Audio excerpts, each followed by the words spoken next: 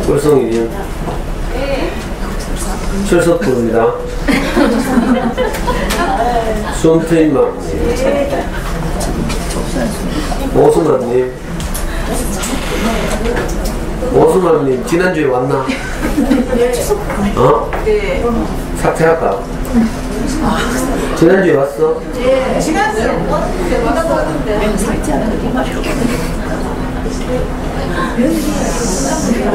지혜돌이님. 알았지? 지혜돌이님은, 아, 좀 떨지 마. 또 유튜브 보는 사람들 놀래라. 지혜돌이님은 피아니스트인데요. 지금, 그, 대학 수시 모집 알아요? 수시 모집? 알아요? 지금 막 한참이거든? 그래서 애고 콩쿨 나가는 애들, 뭐, 이거, 뭐지? 봐주고 뭐 이런 거 있잖아요. 그래, 수시 모집 때문에 굉장히 바쁘대. 그래가지고 어제 장문에 문자가 왔어요. 이런 경우는 이제 봐주는 거지. 왜 못 오는지 자세하게.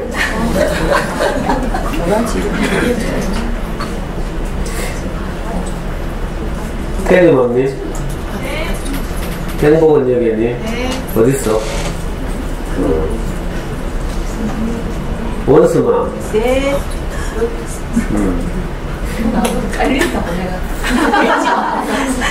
혼이유님언니 그레이스님 그레이스님 어제 신랑이 우리 저 뭐야 전에 친구님 집에 일하러 갔다가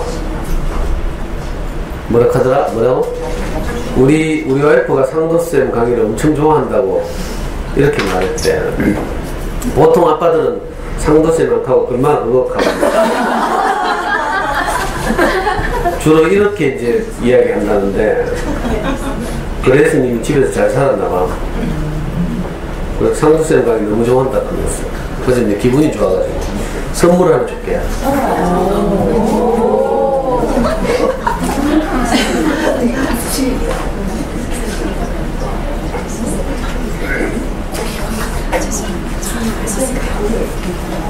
자, 이리, 이리 와요. 그 아무나 주는 게 아니야. 당연히 봐.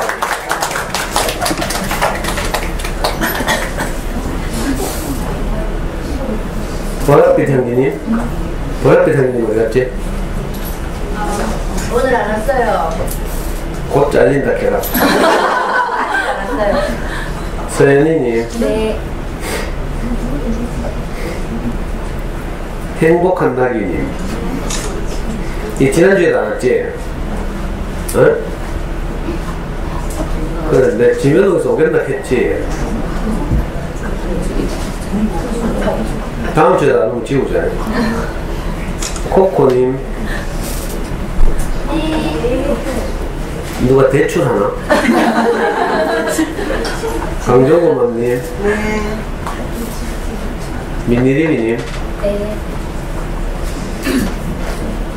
자, 민니리님도 내가 이거 하나 줄게. 어제 내 카페 글 쓴 거 보고. 감사합니다.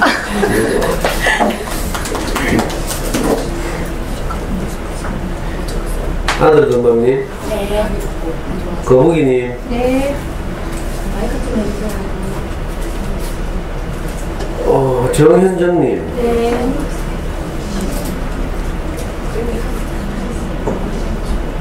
찬스맘님. 네. 어디 있어? 아, 예. 여기 1학년이네. 이상민님, 네. 조니오니맘, 님, 네. 비용님, 네. 딸샘맘님, 네. 오늘 처음 왔죠? 네. 너는 초등학교? 네. 작년에 다녔어요? 1학기 초 아, 이렇게.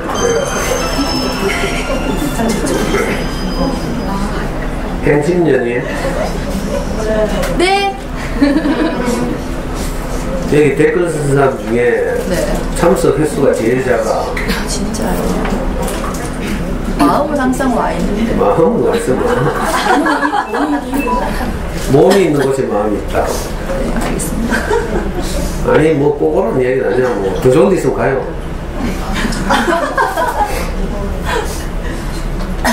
네, 지난주에 말씀드렸죠 그 서울에 항암 치료를 간다는 그 엄마가 포프리쇼를 270회까지 들었대 포프리쇼 알아요? 포프리라고 몰라? 네 가지로부터 자유롭다 포프리 계란하고 뭐 두부하고 콩나물하고 몰라요? 그분이 그 저 후원해가지고 세바시 스타 김창옥 교수라고 몰라? 김창욱 교수 몰라? 그래 김창욱 교수 그분 후, 그 포프리라는 기업이 후원을 받아서 지금 동영상 강의를 330매트를 진행하고 있거든. 그런데 그 피어누드라는 아줌마가 그 270까지 들었대. 그러다가 이제 유튜브로 우리 강의를 만나고 나서 딱 끊었다잖아. 그 지난주에 와서 이제 저한테 말하기를 연락이 안 되면 더 좋은 강의를 발견하고 떠난 줄 알라 그러더라. 나무님님. 자, 저거 두번 계속 안 나오는 열심히 집에서 듣고 있어요. 아, 너무 뭐지? 다른 교육이 있어가지고. 어떻게 하는데요, 이 아줌마? 아니, 이게 뭐, 수영장에서 어? 수영장 어디 수영장? 여성분. 아니, 열심히. 아니, 언제까지 님이 적하니까 내가, 선생님, 녹음기, 어? 녹음기 좀 해달라고. 이거.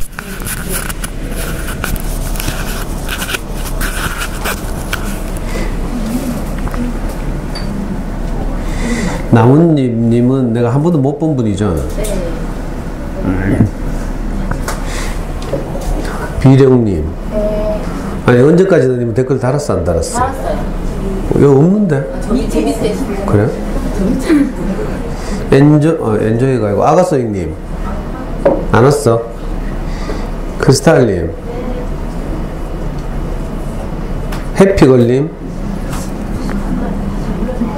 해피걸님도 지금 지난주 안 오고 이번 주도 안 오지? 꿈꾸는 가인님 네. 지난주 왔어요? 제가 못 왔어요. 안 왔어요? 못 왔어요? 못 왔어요. 못 왔어요? 아, 첫날만 빠, 빠져야 될 것 같다. 아, 예, 써놨네. 미소지음님, 네. 어딨어요? 1학년이네, 전부 다? 김소희님, 어딨어? 미나 25. 예, 멀리서 잘 오신다. 선물 하나 줘야 되는데. 노아피사님이 왔어요. 그래. 캐럿, 이거 뭐고? 씨, 발음 뭐냐? 캐럿트란님. 이게 무슨 뜻인데요? 제 이름 하고 당연하지 당연히 란이다 이런 걸. 뭐라고? 제 이름에 뒤에 란자가 붙거든요. 그래서 제 이름 뒤에 란자고 당연히 란인데 당연은 없어서 당근 란 이렇게 써요. 제가 기계치라서 저거 바꿀 줄 잘 몰라가지고 내가 이게 무슨 뜻인 거 싶어가지고 네이버, 구글 다 검색해봤거든? 근데 전부 검색 결과가 없습니다, 야. 웬만한 오타도 다 검색 결과 있거든요. 아니요.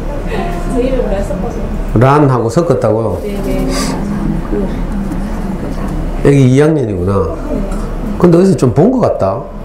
아니죠? 네 지난주에 늦게 신청을 그, 이거 발음을 어떻게 한다고요? 난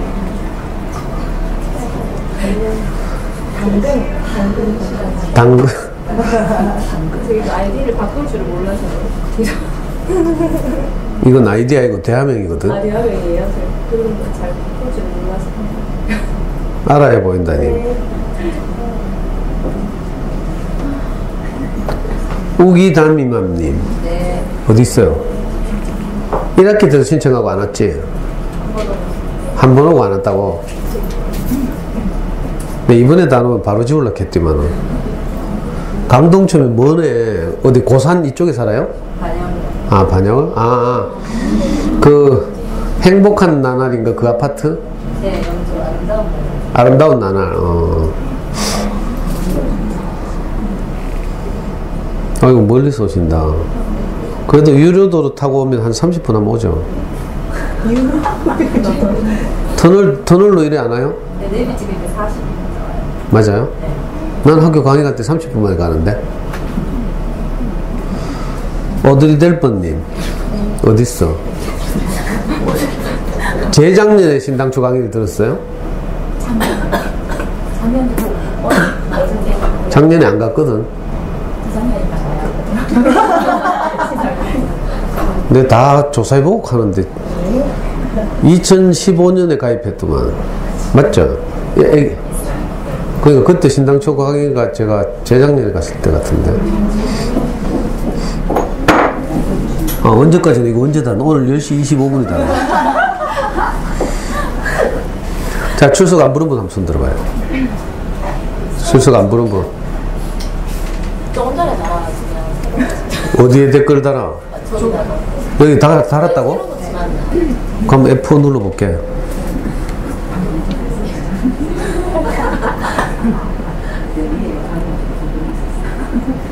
F4 눌렀는데도 왜 안 되노?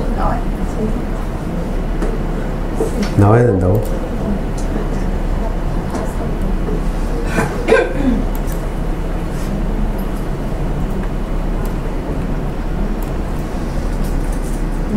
시월 사랑 요 사이에 언제 이름 많이 달았나? 다섯 명이 방금 달았나?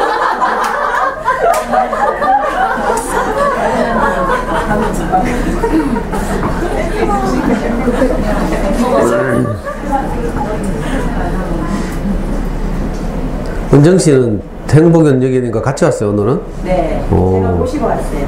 오 잘했어. 이제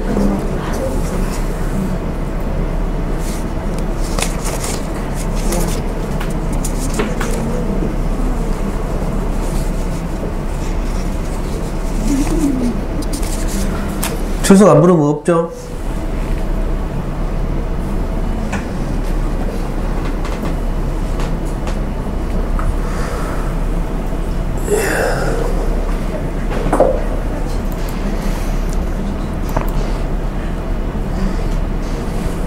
이번 주에 내 숙제 하나 낼게요. 왜? 그럼 뭐, 안 하면 안 오면 돼. 아니,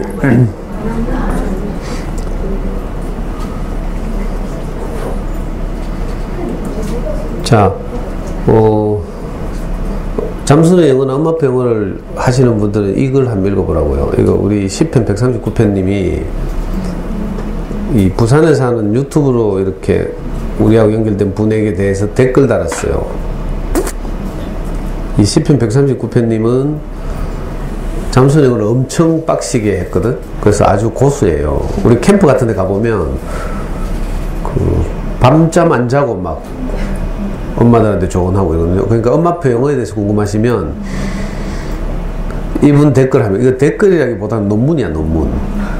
그 상당히 한 사람을 대상으로 뭐 한 심화 과정 정도 간 그러니까 한 2년 이상 영어를 한 사람들을 대상으로 이제 어려움이 생겼을 때 어떻게 할지. 그리고 영어를 하다가 혹시 궁금하면 이분을 부르면서 질문을 해. 무슨 말인지 알겠죠? 그러면 이분이 댓글을 달거든요. 현- 이 지금 애가 6학년인데, 그러니까 지금 이제 열심히 진행하고 있으니까, 어, 우리 다 키운 저나 뭐 우리 모기님보다 오히려 더 현장감이 살아있죠. 아니,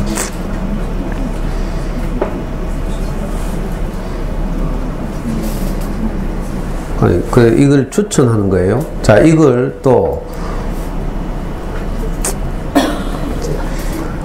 어, 제가 최신 글 중에 하나 내가 퍼다 날랐는데 딸을 보내며 제스퍼님 이 글 있죠. 아니 이 명문을 사람들이 관심이 없다. 댓글 하나도 안 단다. 오늘 숙제는 이 글에 댓글 달기예요 제가 몇 개 말할 테니까 그 중에 하나 댓글 달아봐요. 이거 저보다 1년 이제 선배인데, 그,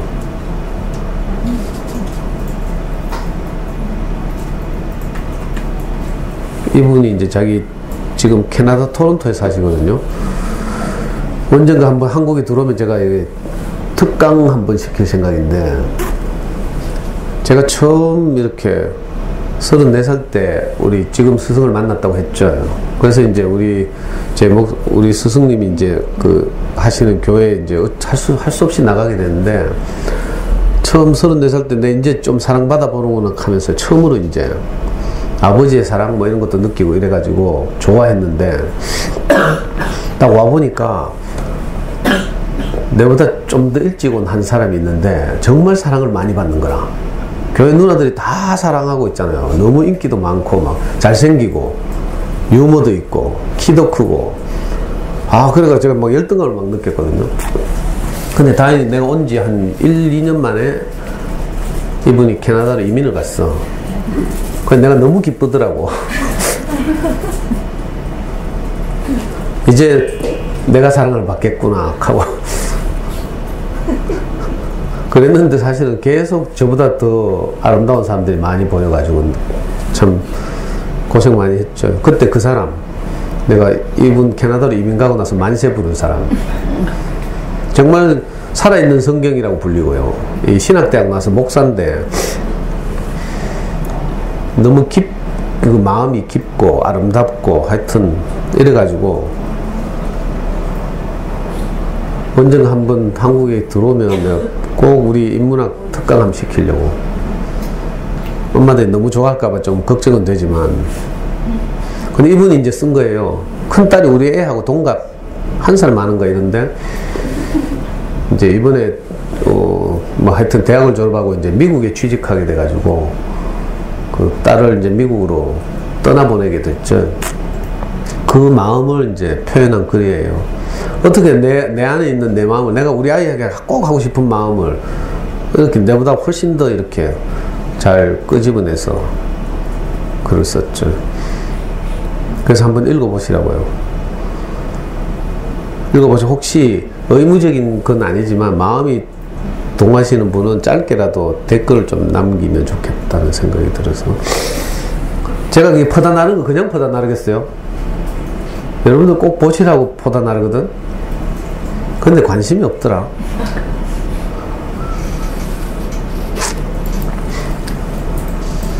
또 하나 추천하는 게 있는데요. 자, 어디지? 살며 사랑하면가? 여기인가? 어, 이거, 이거, 엄마와 생수. 우리 모기님 딸이 쓴 글. 모기님 딸이 이제 갓 스무 살인데 우리 교회 중고등부에 초청돼 가지고 이제 자기 인생을 이렇게 말씀할 기회가 있었어요. 그때 쓴 원고예요. 이게 이제 너무 어, 스무 살 아이 가 자기 인생 이렇게 간결하게 정리하는가 싶어서 너무 이렇게 반응이 좋아서 이게 이제 우리 교회에서 발간하는 월간 교회 생활이라는 잡지에도 실렸고요. 그래서 제가 퍼다 날랐어요. 우리 아이들이 자라면 어, 어떻게 될까에 대해서 이렇게 미리 보여주는 그림이라고 할 수 있죠. 이렇게 엄마 마음을 깊이 아는 아이로 자라겠구나 이렇게 우리에게 소망이 되는 그런 글이에요. 이것도 한번 읽어보시고 어, 그 다음에 동영상 하나 퍼다놨는데 이거 어디 있지? 실만한 물가 있구나. 실만한 물가는 주로 이제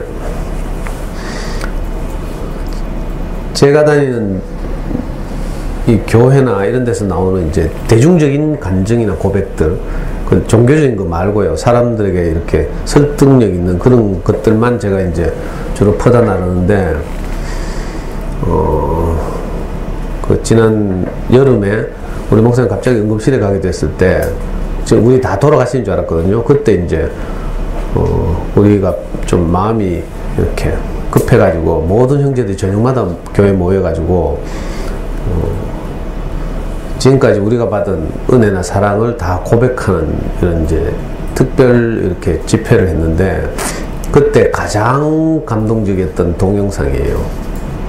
제가 강의 때 자주 말하는 평생을 그 조울증을 앓고 있어서 평생을 정신과 약을 먹고 사는 한 자매가 있어요. 이제 40대 초반인데 그 얘가 고등학교 1학년 때 그죠 상서여상 다녔는데 상서여상 다닐 때 담임 선생님을 만나서 그 들어보면 그 기적이죠. 담임 선생님이 이제 3학년 언니들을 3학년 언니들이 이제 이 선생님을 좋아해가지고 그 3학년 언니들이 선생님 교회에 간다고 약속을 했어. 그래가지고 한 차에 승용차에 타고 오는 오려고 하는데 얘가 어떻게 그 소식을 알고 자기도 좀 데려다가 데려가 달라고 땡깡을 부린 거라. 아무도 자기를 이제 사람 취급을 안 해주니까 그 자리 없다고 언니들이 냉정하게 말하니까 얘가 트렁크를 타고 왔어요. 고, 고등학교 1학년 때. 근데 이번에 이제 그 과정을 이렇게 이야기하는데 여러분들 직접 한번 동영상 봐요. 제가 지금 방금 4개인가? 3개? 추천했죠. 어, 그 밑에 글은요, 이제 제 스승이 자기 아들에게 아들이 이제 의대를 졸업하고 군의관으로 훈련받으러 갔는데, 군대. 그 훈련받으러 간 그 군의관이 몇 달 훈련 받지? 6개월인가? 하여튼 몇, 몇, 몇 달 훈련을 받고 이제 퇴소하는 날이에요. 그래서 그 퇴소하는 아들을 기다리는 마음을 여기 이제 쓴 거죠. 우리 엄마들이 주로 이제 아이들에게 이제 집중해 있고 관심이 많고 이러니까 어떤 마음으로 아이를 키워야 하는지에 관해서 제가 추천하고 싶은 그런 글들이에요. 그래서 지금 몇 가지 말씀드렸는데 이, 이것 중에서 뭐 아무거나 골라가지고 마음이 움직이면 댓글을 쓰는 연습을 해야 돼요. 이, 내 마음을 표현하는 훈련을 안 하면요 애한테 절대로 내 마음을 표현 못 해요. 엄마는 너를 언제까지 사랑한다.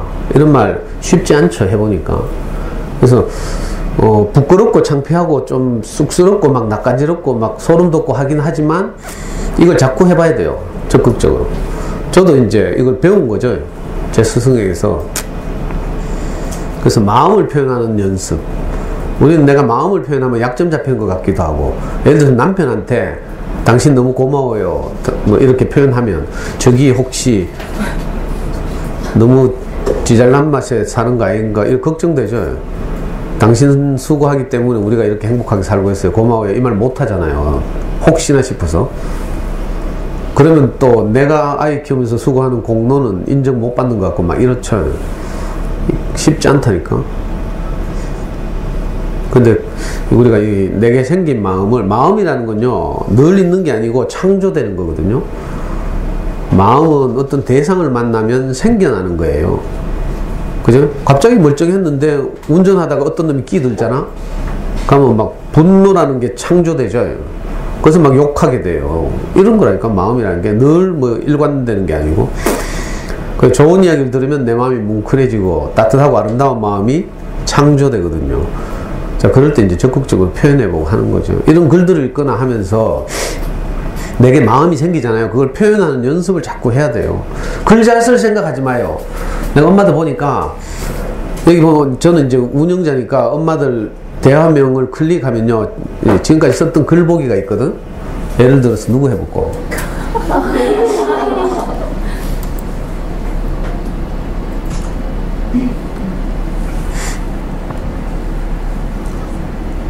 자, 우리 최근에 어제 썼던 상 내가 선물을 줬으니까 이거. 미니리미님이 예를 들어 있어요. 이 제답줄 앉았죠.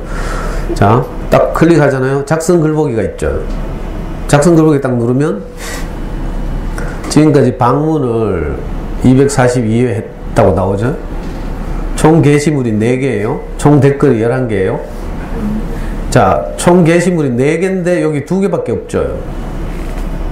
작성한 글두 개밖에 없어요. 이거 무슨 뜻이에요? 두 개는 지웠다는 뜻이거든.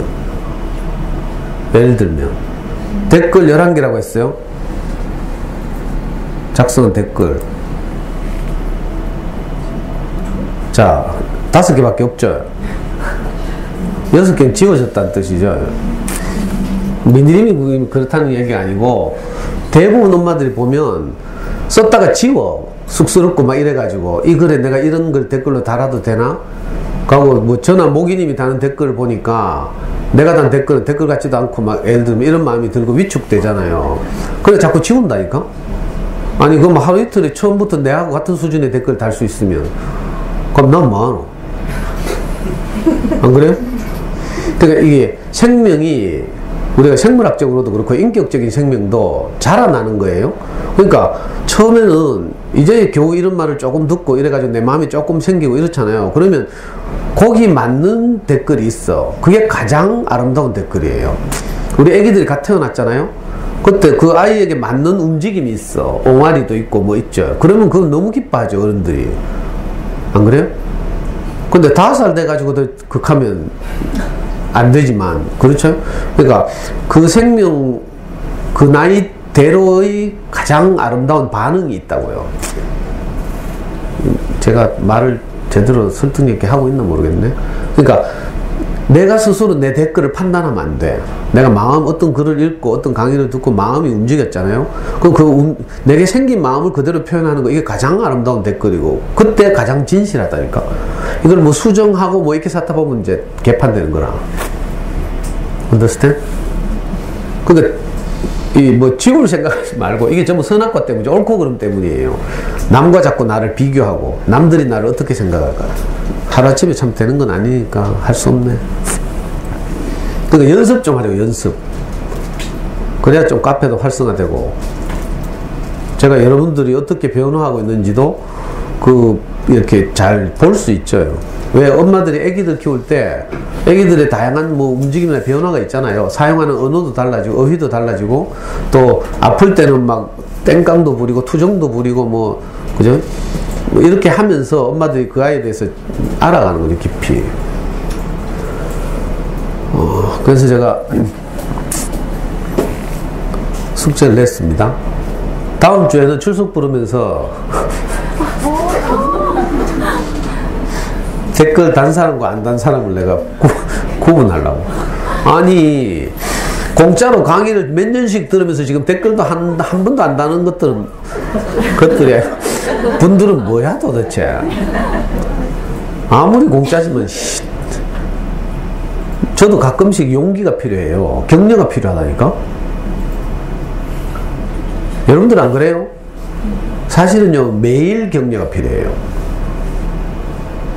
저는 뭐 선생님 너무 고마워요 하고 유튜브로 강의를 들으신 분들이 뭐 오래 사시고 건강하세요 하고 뭐 이런 이야기 가끔씩 하거든요. 근데 그걸 한 번 하면 안 돼. 매일 해 매일.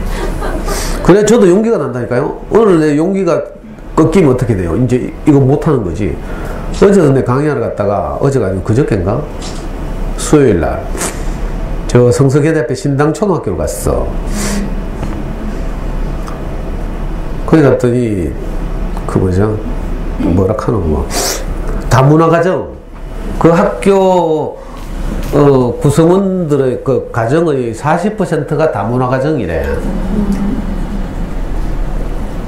그러니까 다문화 가정 엄마들은 이제 우리말을 잘 못 알아듣기 때문에 학부모 역량과 연수에 거의 오지도 않는데 손 들어보니까 한 명, 한 명 있더라. 우즈벡 출신 한 분 있어요. 근데 다문화 가정이 40%란 말은 그 전부 성송단에 다니면서 이제 일하러 다니거나 이제 먹고 살기 어렵고 이렇다는 뜻이죠. 그래서 그런지 참석한 엄마들이 생각보다 오기는 많이 왔어. 또한 학년에 두 학급씩 밖에 없는 미니 학교인데 시청각시 제법 오셨어요. 근데 신동초등학교 엄마 있지? 아니 내 죽는 줄 알았다니까? 엄마들이 너무 얼굴이 어둡고 반응이 없어. 그래가지고 강의 끝나고 나오면서 내가 힘이 빠져가지고 근데 죽고 싶더라니까. 하기 싫다는데 이집 말라고 하는 이 생각이 들더라니까 진짜로. 그래가 괜히 모기님한테 내가 계속 짜증내고 막. 저도 이런데 하물며 우리 아이들 어떻게 했어요?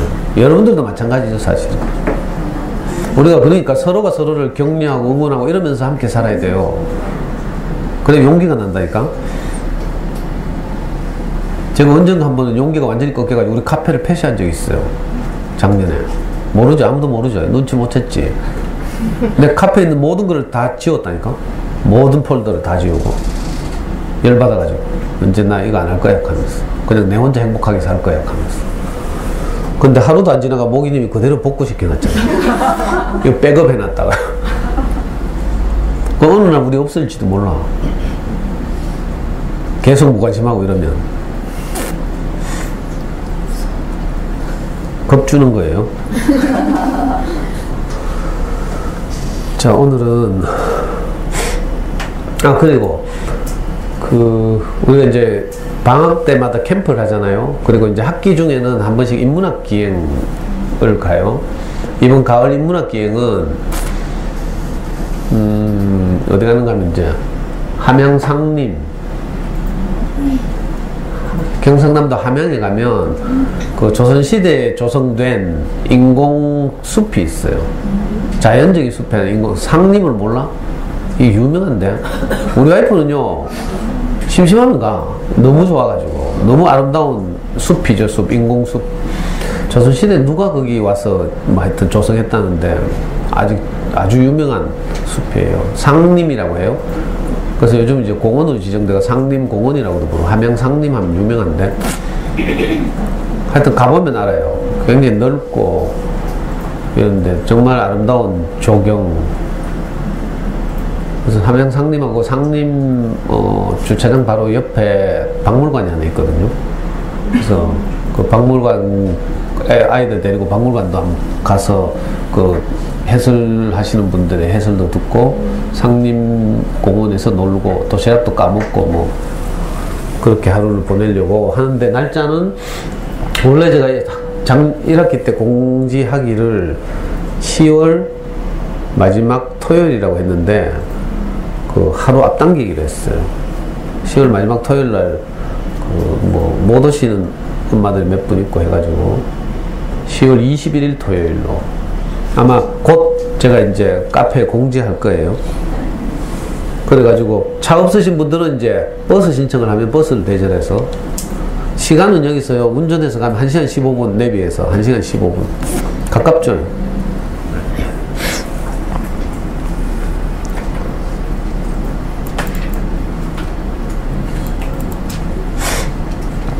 오늘 제가 선택해서 여러분들과 함께 생각해 보고 싶은 책은 어, 열렬하고 비룡소에서 나왔어요. 비룡소는 제가 늘 말씀드리죠. 어린이 그림책 시장에서는 이, 거의 1위 브랜드라고 할 수 있고 우리 출판 대기업 민음사의 자회사라고 말씀드렸습니다. 비룡소에서 나온 지식 그림책이에요. 보통 제가 이제 지식 그림책은 잘 안 하는데 열렬한 문이라고요. 이 초등학교 5학년 국어교과서에 실린 책이라고 해서 저는 원래 이제 그 국어교과서 수록도서 뭐 초등학교 교과서 수록도서 이런 데 신경 쓰지 말라고 했어요. 왜냐면 수록도서라고 해서 그것만 읽고 이래서는 안 되고 그것보다 수백 배, 뭐 수천 배 책을 읽어야 하죠. 교과서에 수록된 그 해봐야 이제 아주 극히 일부만 인용되고 이런 거니까. 그러니까 좋은 어린 책을 꾸준히 읽으면 내가 뭐 수록된 도서인지 아닌지에 상관없이 계속 읽다 보면 자연스럽게 아이들의 독해력이 자라나서 어떤 어, 책이 교과서에 인용되고 하더라도 거기에 대한 이제 어, 이해나 독해가 이제 쉬워질 수 있도록 충분한 책 읽기를 하라고 말씀드렸습니다. 그것보다 더 좋은 방법 없다고 했어요. 자녀 교육에 있어서 어떤 학습지보다도 더 어, 탁월하고 효과적인 그 아이 기르기라고 했는데 그 제가 이제 어머니들하고 이제 오랫동안 함께 지내고 관찰해보고 하니까 그럼에도 불구하고 내만 목 터지락하고 엄마들은 별로 관심이 없어요. 책도 안 읽어주고 저하고 책보 수업하러 보내는 엄마들이 요즘 막 늘어나고 있고 이제는 책값 아깝다고 책도 안 사보내는 엄마들도 있고 아예 사지도 않는 엄마들도 있더라. 큰일이에요.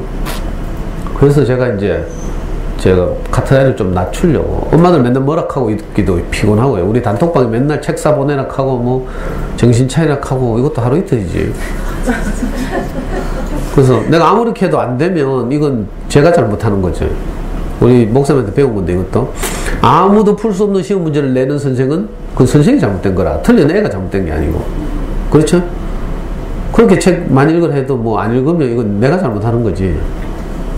그래서 제가 눈높이를 낮춰서 앞으로 이제 우리 아이들 책벗이나 수업을 할 때는 엄마들한테 이제 소개할 때도 가급적이면 교과서 수록 도 서라도 내가 이거라도 좀 관심을 가지라고 하려고. 그요 이수지라는 작가인데 우리나라 작가예요. 이분은 유명하죠. 알란가 모르겠네요. 한국인 최초로 뭐지? 이탈리아 볼로나에서 열리는 그 라가치상 있죠. 자, 어, 미국에는 칼데콧이 있다고 했어요. 영국에는 케이트 그린어웨이상, 뭐 독일에는 독일 아동문학상, 뭐 일본에는 무슨 상 이런 식으로 다 국가마다 있겠죠. 근데 이제 미국과 영국을 제외한 다른 일반적인 나라들의 그 어린이 책, 특히 그림책을 대상으로 2년마다 한 번씩 이탈리아 볼로냐에서 그림책 페스티벌을 해요. 이제 여기는 개방됐기 때문에 우리나라 작가들도 많이 나가죠.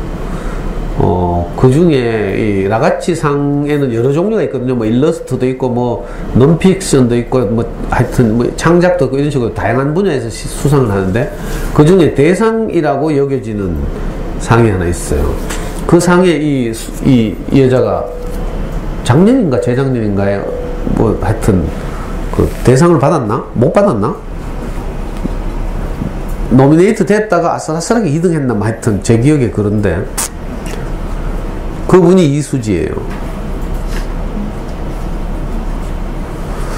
근데 이제 이분이 그림을 그린 예, 과학 과학 관련 책들 시리즈가 있는데 이걸 비룡수에서 지금 여섯 권 냈네요. 과학의 씨앗 시리즈라고 해서 그 중에 한 권이 이거예요. 1번 열렬한 문.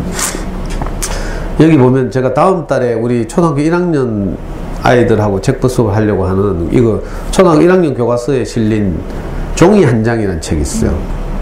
초등학교 1학년 교과서 보면 종이 한 장으로 종이 접기도 하고 종이 한 장으로 할 수 있는 비행기도 만들고 뭐 이런 거 있잖아요. 어, 하여튼 이 굉장히 저도 지금 이거 장바구니에 담아놨는데 그런 좋은 책들을 내고 있어요. 과학 그림책이지만 단순히 막 이렇게 단순한 지식을 제공하는 이런 그런 전집용은 다르고요. 상당히 창의적이라고 할 수 있죠. 이 책은 정말 간단한 그림책인데 의외로 초등학교 5학년 교과서에 실려 있어요. 한번 관심을 가져보시기 바랍니다. 너무 간단해서 제가 한번 읽어볼게요.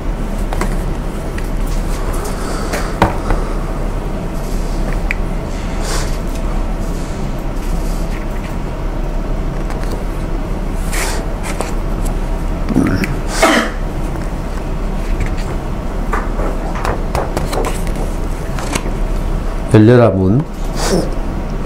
문을 이제 여러 다양한 종류의 문을 이렇게 아이들한테 소개하고 있죠. 빗장을 풀고 끼게 여는 문. 이 보통 전원주택 같은 데 가면 이런 형태의 문이 많죠. 우리 목사님 가창에 집 있는데 꼭 이런 나무 대문이에요. 이렇게 낮고 걸어놨는데 요거만 딱 손 넘겨서 제껴서 이렇게 열 수 있는 그런 문이죠. 빗장을 푸, 풀고 끼게 여는 문. 손잡이를 딸깍 들어 올리고 여는 문.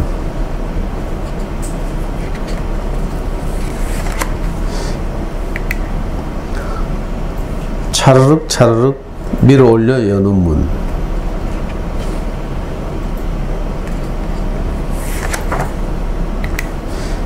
빙빙 돌아가는 문.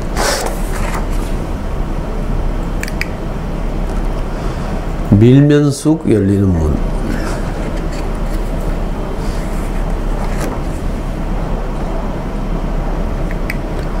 내가 앞에 서면 스르르 열리는 문.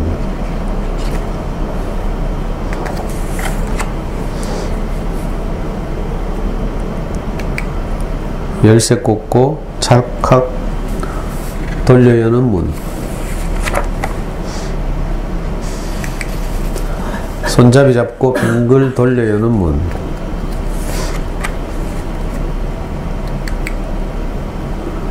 옆으로 쭉 밀면 열리는 문.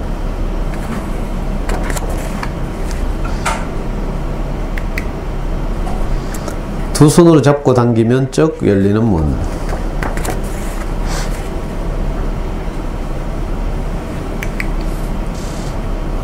문, 여기도 문, 저기도 문.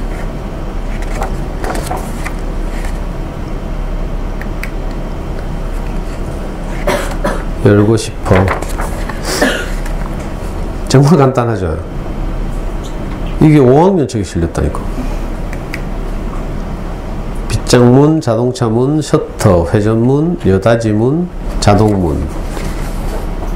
잠겨있는 문, 둥근 손잡이가 달린 문, 미닫이문, 냉장고문.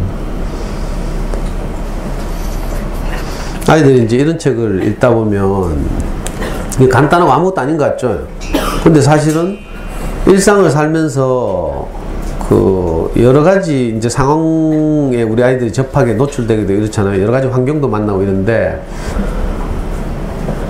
자 이런 책도 읽다 보면 이제 이런 아이들의 삶 속에서 이렇게 그 공통적인 어떤 것들을 그 추출해내는 힘 이런 게 생기거든요. 그러니까 이 작가가 그런 분이죠. 그 일상에서 문이라는 것에 이렇게 주목해가지고 그걸 모티프로 해서 이 그림책 하나를 창조해냈어요. 이렇게. 그리고 흔히 보이는 어떤 것들도 공통점을 가지고 연관시킬 수 있는 거죠. 어, 제가 어떻게 말해야 될지 모르겠는데, 예를 들면 김춘수의 시, 꽃이라고 있잖아요, 꽃.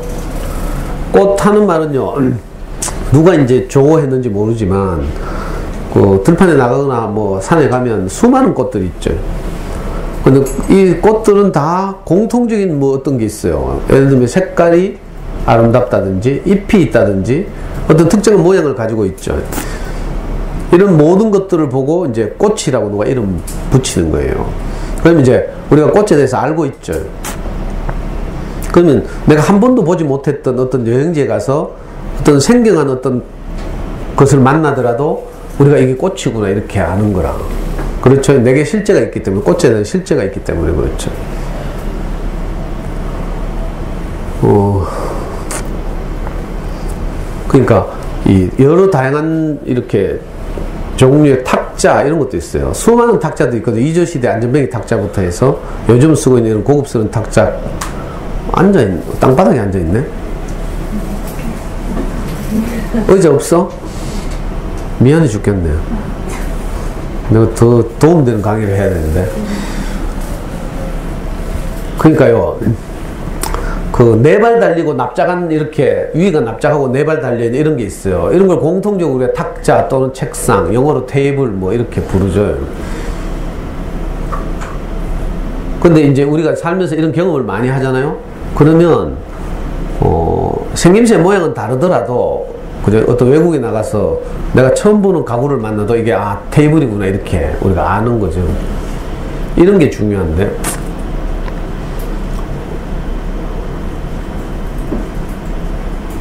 이걸 보고 이제 좀 어려운 말로 하면 옛날에 2500년 전에 철학자 플라톤이라고 있거든요. 음. 플라톤이 아주 중요한 이야기를 우리에게 남겼는데 세계는 둘로 되어 있다. 뭐라고요? 현상계와 이데아계. 현상계는 뭐예요? 우리 눈으로 보이는 세계. 그죠? 이게 현상계라고 하죠.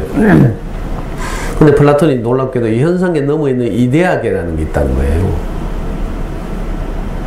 이걸 잘 한번, 내 꽃을 예로 들고 책상을 예로 들었어요. 한번 생각해 보시면 좋겠는데. 현상 너머에 있는 어떤 것이죠. 이걸 이데아의 세계. 눈에 보이지 않지만 실제 하는 세계. 이걸 이데아라고 불렀어요. 저는 뭐 플라톤을 전공한 사람도 아니고 이래서 더 이상 깊이 설명하기 어렵고요. 어, 이, 이 애들 이제 애들 아플 때를 예로 들면 애들 아플 때 일어나는 현상이 있어요. 열이 난다든지 보챈다든지 운다든지 짜증 부린다 이런 거 있죠. 이건 현상이죠 현상. 증상이 증상. 그죠? 그래서 병원에 데리고 가면 의사들은 청진하고 뭐또 어? 이렇게 뭐 해가지고 뭐 사진도 찍어 본다든지 뭐 이렇게 검사를 하고 이래가지고 뭘 알아내줘요. 뭘 알아내요? 이 증상의 원인을 알아내는 거야. 그러니까 모든 이제 우리가 살아가면서 일어나는 모든 일에는 이렇게 눈에 보이는 것과 눈에 보이지 않는 것이 항상 있는 거죠. 본질과 현상 이런 말 있죠. 어, 내용과 형식 이런 말 있어요. 다 이게 그런 말을 하는 거죠. 어, 또 뭐가 있지?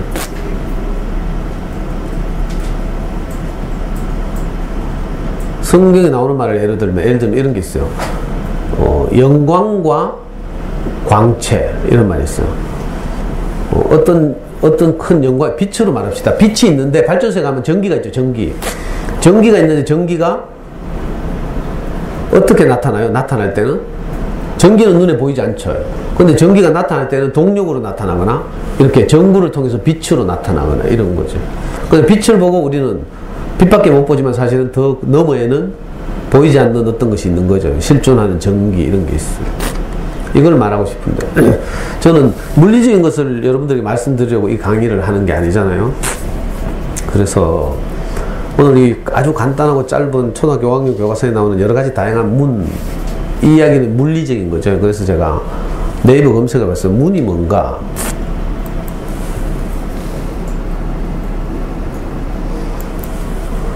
돈 많이 벌면 노트북 속도 빠른 걸로 꼭 하나 살게요.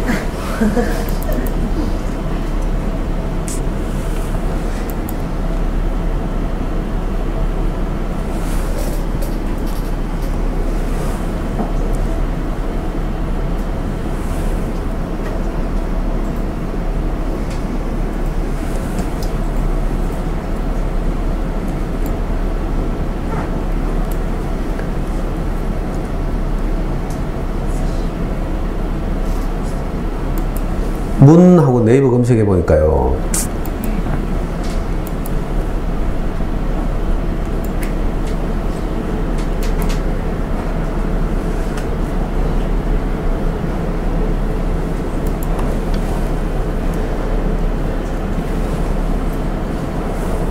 여러분 이런 거 검색해봐요?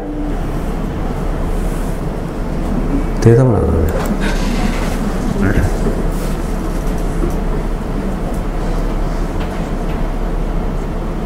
여기 네 개의 뜻이 있죠.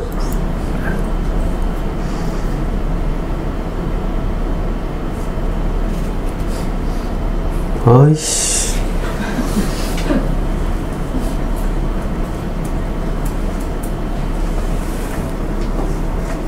이 노트북 어디서 난 거지?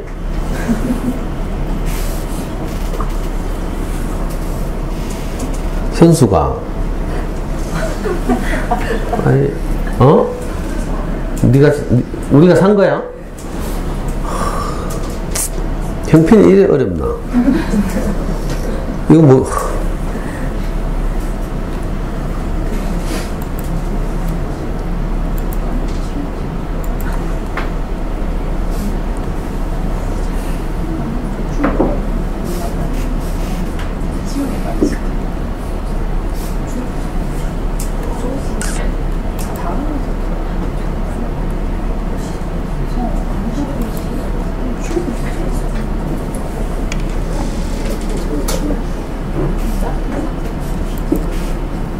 어이씨 진짜 참 덥네 더워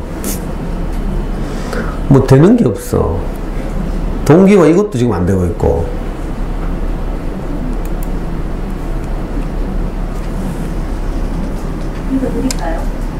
뭘? 네이버 1번하고 4번 한번 읽어봐라. 난 다음 쓰는데? 아니 누가 포탈을 다음을 쓴대. 하, 미치겠네. 내 그만큼 캐도 다음은 카페나 쓰고 검색은 네이버지. 하, 사진은 구글에서 검색하고. 아 진짜.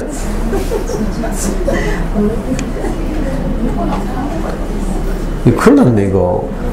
1번. 됐다 됐다. 이제 아유. 자 제가 네이버에서 이제 동기가 끝났어 네이버에서 문 검색하니까 네 가지 의미가 있는데 그 중에 이제 저한테 의미 있는 게 두 가지예요 1번과 4번인데 어, 물리적 의미란 말은 제가 붙였어요 드나들거나 물건을 넣었다 꺼냈다 하기 위하여 튀어놓은 곳 또는 그곳에 달아놓고 여답게 만든 시설 이걸 문이란다. 이게 물리적인 말이죠. 근데 저는 이제 이 물리적인 말도 물론 이제 아이들하고 이제 책을 읽고 할 때 이런 것에 대해서도 이제 이해를 시켜야 되지만 이제 네 번째 문이라는 의미는요. 네 번째 의미는 뭐가 있는가 하면 거쳐야 할 관문이나 고비 무슨 말인지 알겠죠? 예를 들어 취업의 문 익하면 문이 실존하는 게 아니죠. 이건 인격적 개념이거든요. 그래서 우리가 거쳐야 할 관문이나 고비 이걸 문이라고 해요. 그래서 저는 오늘 문을 이 주제로 해서 어, 사실 가장 먼저 하고 싶은 말은 뭔가 하면 우리가 우리 아이들에게 있어서 어떤 문인 거죠, 문. 자, 물리적으로는 아까 소개해드린 그림책에 나오는 사양, 여러 다양한 종류의 문이 있고요. 이 문을 통해서 어떤 시설, 공간 안으로 들어갔다 나왔다 하는 거예요. 이게 문이죠. 그 문의 인격적 의미는 뭔가 하면 아이들이 학교 갔다가 집으로 돌아올 때 제가 뭐라고 했어요? 보통 강의 때 홈이 하우스가 아니라 홈으로 돌아온다고 했어요. 하우스는 물리적인 집이죠. 홈은 어때요? 인격적인 집이에요. 가정이라고 하죠. 그래서. 그러니까 표면적으로는 아파트로 돌아오지만 내용적으로는 뭐예요? 엄마 안으로 들어오는 거예요. 가족 안으로 돌아오는 거죠. 그런 의미에서 사실은 엄마가 아이들의 문이에요. 어떤 문인가 하면 행복으로 가는 문. 그죠? 그 위로로 가는 문. 격려로 가는 문. 이게 이제 우리죠. 근데 보통 우리가 이제 여러 가지 기준을 가지고 문을 만들어요. 문의 소재는 많죠. 나무도 있고 샷다 같은 경우 철제죠. 그런 거 알아요? 문에 여러 유리로도 문을 만들고요. 뭐 이렇게 다양한 문의 재료가 있는 것처럼 우리도 자기마다의 문을 여러 재료로 만들고 있어요. 옳고 그름이라는 재료. 그죠? 그래서 이런 기준 저런 기준으로 문을 만들어 놓고 네가 알림장 체크하고 가방 싸고 오면 내 안으로 들어올 수 있다. 뭐 예를 들면. 그러면 아이들 학교 갔다 오다가 엄마 안으로 확 들어와서 쉬고 싶은데 학교에서 힘든 일이 있었단 말이에요. 예를 들면. 그럼 쉬고 싶잖아요. 근데 내가 어떻게 해요? 문을 딱 닫고 있는 거라. 그럼 어떻게 돼? 아이들은 턱 부딪히는 거죠. 그러면 이제 힘 빠지고 실망하고 손 씻고 숙제부터 해. 하면 이제. 굉장히 중요한 문제인데. 우리가 이상하게 어느 날부터 이제 처음에 이제 우리가 아이를 만났을 때는 우리 안에 없던 신기한 마음이 창조됐죠. 처녀 시대는 죽었다 깨어나도 없던 마음이에요. 엄마 마음, 부모 마음이라는 것이. 저도 우리 아이를 만나기 전에는 내가 이렇게 간절한 마음이 있나 싶었어요. 그런데 아이가 딱 나타나는 순간, 저는 나 아빠들은 또 완전히 아기 때는 이런 마음이 잘 없어. 애들이 좀 크면서 이제 몇 살 되면서 관계가 생기고 이러면서 아빠는 이제 그런 마음이 창조되는데 엄마들은 그게 아, 니죠 자기 뱃속에서 열 달 동안 같이 있었고 그래서 이제 나니까 아이, 엄마들은 보통 내가 날 때부터 너무 다른 마음이 딱 창조되죠. 마음이란 게 이런 거예요. 어떤 대상을 만났을 때 창조되는 것이지 원래 막 그대로 갖고 있는 이런 게 아니에요. 그 어릴 때는 우리가 그렇게 아이 일거수일투족이 우리를 기쁘게 하고 행복하게 하고 즐겁게 하고 이랬는데 좀 자라도 어느 날 보면 이제 이 아이들이 사회로 나가잖아요. 어린이집 놀이방부터 시작해서 이제 나가고 유치원 다니고 학교 들어가고 이러면서 이상하게 우리 원래 그 마음이 다른 마음에 의해서 덮여버리는 거라. 원래는 저기 농사 짓는 일로 비유하자면 원래는 땅이었는데 농사 짓는 농토였는데 어느 날 다목적 댐을 건설하잖아요. 합천댐이 그렇죠. 충주호나. 그러면 물이 계속 차가지고 땅이 아주 깊은 물로 덮여버려요. 그리고 거기 원래 살던 그 원주민들은 어떻게 돼요? 다른 곳으로 이사 가야 돼요. 그런 불행한 일이 많이 있죠. 개발이라는 이름으로. 저는 이제 일부러 아이들 데리고 그래서 합천댐도 가보고 충주호도 가보고 충주댐도 가보고 이랬어요. 그러면 이제 거기 있던 모든 고향 원래 거기 살던 사람들 깊은 산골에 살던 사람들은 물이 차면서 다 이주하고 고향을 잃어버리고 이런 거죠. 그러다 보니까 이제 우리 아이를 키울 때 원래 그 모든 것이 기쁘고 행복하고 즐겁고 이랬던 것은 어디 깊은 밑바닥에 있고 사실 두터운 물이 우리를 덮고 있어서 나도 모르게 불안하죠. 제가 늘 말씀드리지만 아이를 키우면서 우리가 맞닥뜨리는 큰 세 가지 고민이 있어요. 저는 뭐 이렇게 우리 스승이 뭐 교회 목사님이니까 제가 계속 그 영향을 받아서 주로 주로 성경을 많이 인용하는데 우리 인생의 문제는 크게 세 가지예요. 이걸 자녀 교육으로 딱 치환해도 똑같은데 하나는 그죠? 깊은 어둠. 불안은 어디에서 오는가 하면요. 어두워서 오는 거죠. 밤에 불안하지 낮에 불안하지 않거든요. 웬만하면. 그러니까 내가 앞이 보이지 않을 때 불안한 거죠. 우리 어머니 돌아가실 때 보니까 요 보성은하 사셨는데 돌아가실 때 보성은하에서 돌아가시 7개월 전부터 갑자기 눈이 실명을 했어요. 원인을 알 수 없는 그 신경과적 바이러스가 침투해가지고 처음에는 한쪽 눈이 안 보이신다 하더라고. 우리 형집이 그 보성은하 201동인가? 영남고등학교하고 담 하나를 딱 사이에 두고 있는 동이에요. 그 우리 형집이 2층인데 거실에 영남고등학교 식당이 보여. 우리 조카들 둘이 영남고등학교 다녔거든요. 그러니까 늘 엄마가 그 너머로 영남고등학교 보면서 조카들 생각하고 이렇게 사셨는데 어느 날 눈이 실명하는 거라. 처음에 한쪽 눈이. 근데 서서히 이게 진행돼가지고 나중에는 두 눈 다 실명했어요. 점점 희미해지더니. 우리는 실명하고 나서도 그래도 늘 사셨던 공간에서 사실 줄 알았거든. 근데 이게 며칠 지나니까요, 방향 감각을 상실하니까, 그 침대가 어디 있고, 농이 어디 있고, 기둥이 어디 있고, 바로 옆에 화장실이, 엄마 방 옆에 화장실이 있고, 우리가 다 기억할 줄 알았는데, 어두워지니까요. 그러니까 앞이 안 보이니까, 방향 감각을 상실해 가지고, 더 이상 수십 년을 거기 살았는데도 이게 안 되는 거예요. 계속 불안해 가지고, 어디 부딪히고 막 계속 이러니까. 막 굉장히 불안했어요. 신기하죠. 왜냐 앞이 안 보이기 때문에. 우리가 아이를 키우면서 왜 불안한 줄 알아요? 앞이 안 보이거든. 빛이 없거든. 앞이 안 보인다는 말은 사실 빛이 없다는 뜻이에요. 물론 두 가지가 이제 함께 작용하는데, 우리가 지금 정상적인 눈을 가지고 있어도 개기일식이 딱 일어나 봐요. 얼마 전에 미국에서 개기일식이 있다 했죠. 그럼 캄캄해지거든요. 우리 육신에 눈이 있어도 빛이 없으면 아무것도 안 보여요. 신기하죠. 우리는 눈으로 보는 것 같지만 사실은 빛이 있어야 돼요. 또 빛이 있어도 우리 눈이 없으면 물론 못 보는 거죠. 우리 어머니처럼. 그러니까 내가 앞에 안 보인다는 말은요. 빛이 없다는 뜻이에요. 내가 어떻게 이 아이를 키워야 이 아이가 행복해질지에 대해서 내가 까막눈이란 말이죠. 솔직히 말하면. 저는 아이를 키워보니까 내가 그걸 발견했어요. 내가 까막눈이더라. 까막눈. 봉사. 생물학적 눈은 뜨고 대낮을 돌아다니지만 우리 아이가 커서 행복하게 되려면 어떻게 해야 될지에 대해서 내가 까막눈이었어. 그러니까 장님 뭐 더듬듯이 제가 여기 부딪히고 저기 부딪히면서 그렇게 좌충우돌하면서 아이를 키웠죠. 애 패기도 하고 안고 울기도 하고 뭐 잡았다가 뭐 놨다가 뭐 옛날에 보모동 엄마들이 제 강의 들은 많이 왔는데 우리 현역 때 고등학교 다닐 때 수학 공부법 가르치니까 범어동이 소문 나가지고요. 80명이 왔어 지금도 상당히 많죠.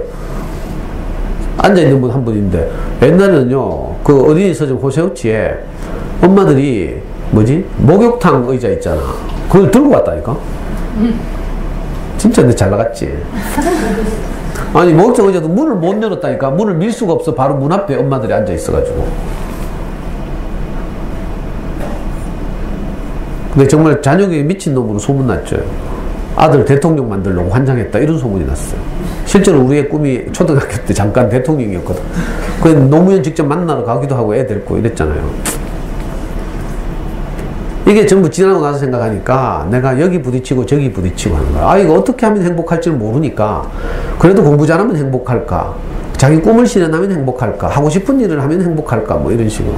세상에서 답은 그밖에 없어요. 뭐 하고 싶은 일을 하면 근데 하고 싶은 일을 어떻게 하는데?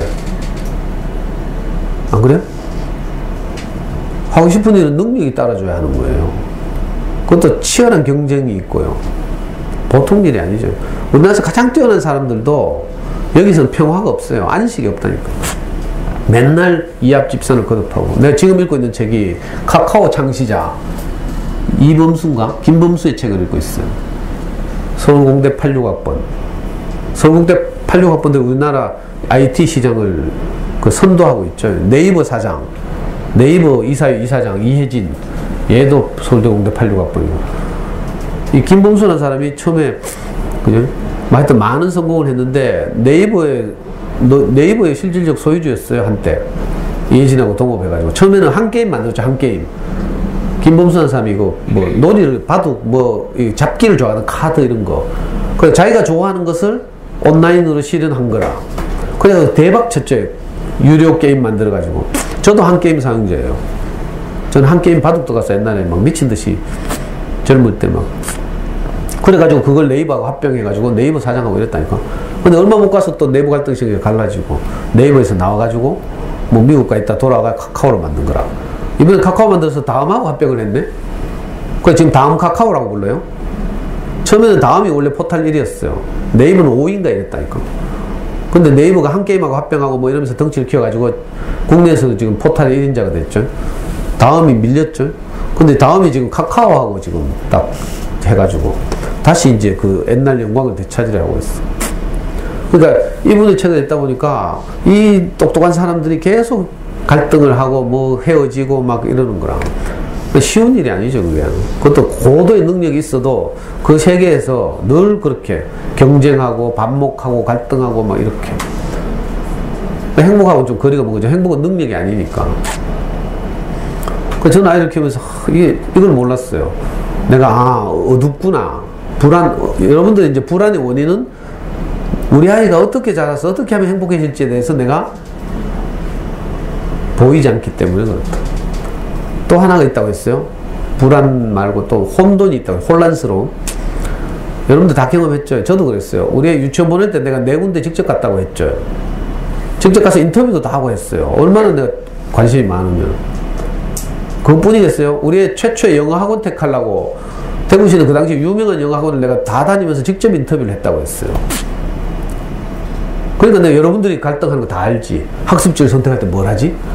수학 학습지 안에 구몬을 할지 싱크빅을 할지 아니면 싼 기탄을 할지 뭐 아니면 요즘 좀 세련된 뭐고 뭐 영재교육 한다는 뭐뭐 팩토 이런 걸 할지 뭐 뭐 다 갈등이라 아니면 아예 뭐 하늘 교육을 보내야 될지 뭐 다 고민이죠. 저도 해보니까 뭘 하나 선택하라는데 다 혼란인 거라. 뭘 해야 될지 모르는 거라. 또 하나는요. 허무예요, 허무. 짧게는 내가 하루를, 오늘 하루를 열심히 살았는데 저녁에 잘 때 결산을 해보면 남은 게 손에 쥐지는 게 없어. 이게 물을 손, 손으로 움켜쥐면 다 빠져나가죠. 안 그래요? 물을 손으로 움켜줘봐요. 다 빠져나가고 없어. 오늘 하루 내가 악, 악당원을 쓰면서 열심히 살았어. 여기 엄마들은 그래도 많이 좋아졌겠지만 대부분 엄마들 그렇죠? 특히 이 신혼성지구에 사는 엄마들은 자녀에 대해서 뭐 잘 모르면서 갑자기 아파트가 들어서고 막 형편이 비슷한 옆에 애들끼리 모여가지고 밥 모임 뛰댕기고 이러면서 막 불필요한 의식과 경쟁을 계속하고 있어요. 그러니까 불안하고 이러니까 혼란스럽고 열심히 해. 하루 종일 애 따라다니면서 고함 질러. 하는 것마다 찌랄하고 막 하는데 저녁에 잘 때 딱 계산해 보면 오늘도 학습지 밀렸고 그렇다고 해서 행복하긴 했나? 행복이라도 했으면 뭐 좀 뿌듯하게 잠들 텐데 아무 행복하지도 않았고 그렇다고 지- 진도가 잘 나간 것도 아니고 이 허무죠 허무. 짧게는 하루의 허무고 이게 계속 쌓여봐요. 나중에 애를 다 키우고 나서도 허무하다니까. 이상하게 손에 잡히지 않는 그죠? 뭐가 내게 딱 와야 인생이 만족하거든요. 만족이 뭐예요? 발끝까지 가득하다 이런 말이거든. 내가 뭔가 뭔가로 딱 가득 차야 내 인생이 만족해요. 두 다리 쭉 뻗고 자는 거지. 그 인생은 무엇이 와야 만족한데 이게 없으니까. 이 자녀교육에서 이게, 큰 고민이죠. 저도 이런 과정을 겪었고. 제가 여러 번 고백했잖아요. 우리 애는 공부를 꽤 잘했는데도 잠깐 성적 나오면 물론 그때 기뻐요. 그거 내가 부인하는 게 아니에요. 잠깐 기뻐요. 그러나 이게 지속적이잖아. 다음 시험 있고 다음 시험이 있고 실제 수능도 있고 아이고 내가 수능 우리 애 고3 때 수능을 쳤는데 0.2%에서 0.3% 사이 나왔어 기쁘게 안 기쁘게 0.2% 상위 0.2%에서 0.3% 정말 기쁠 것 같죠? 우린 절망이라 그때 우리 애가 수학 한 문제를 더 틀리는 바람에 그죠? 예를 들어 서울대에 우리 아이가 원하는 과를 가려면 우리 애가 그래도 뭐 어? 서울대 다양한 전공들이 있잖아요. 근데 법대를 가려고 했는데 법대 없어졌어요. 로스쿨 생기는. 그 다음에 이제 갈 때는 경영대학 아니면 사회과학대학 이 두 개밖에 없어. 그렇다고 뭐 취향상 인문대학 갈 수- 취향이 아니고 그죠? 그러면 서울대 정원이 3천 명인데 문이과로 나누고 거기서 또 사회과학대학 경영대학 그것도 수십 빼고 정시만 딱 하면요 경영대학 52명 사회과학대학 뭐 150명인가 모집해요. 다 합해봐 200, 200명이죠. 여기 가려면 최소한 0.2% 안쪽으로 들어가야 그죠? 이 수능 2배수 안에 들어서 논술 칠 기회를 얻어요. 근데 우리가 0.2%에서 0.3% 사이. 수학 한 문제 틀린 거라. 여러분도 이거 실감 못 하겠죠? 저기 저 베이지 부른 소리 하네 속으로 이래 생각해요. 그게 아니라니까. 애 성적에 따라서 내 눈높이도 올라가요. 여러분들 기준이라는 게 있잖아요. 아이가 두 살 때는 두 살 때 기준이 있고요. 다섯 살 때는 다섯 살 때 기준이 있고, 지금 여덟, 아홉 살 때는 이때의 기준이 있는 거라. 이놈의 우리 기준이라는 것이요. 탁구공처럼 절대로 깔아앉질 않아. 수면 높이에 맞춰서 수면에 동동동 떠 있다니까 우리 아이가 절대로 이 기준을 통과를 못 하는 거지. 탁구공이 태평양의 그 거대한 바다가 탁구공 하나 못 삼킨다니까. 이상하죠? 그러니까 이 공부 잘해도 이게 만족이 없어요. 잘 뽑고 잘 못해 항상 불안하다니까.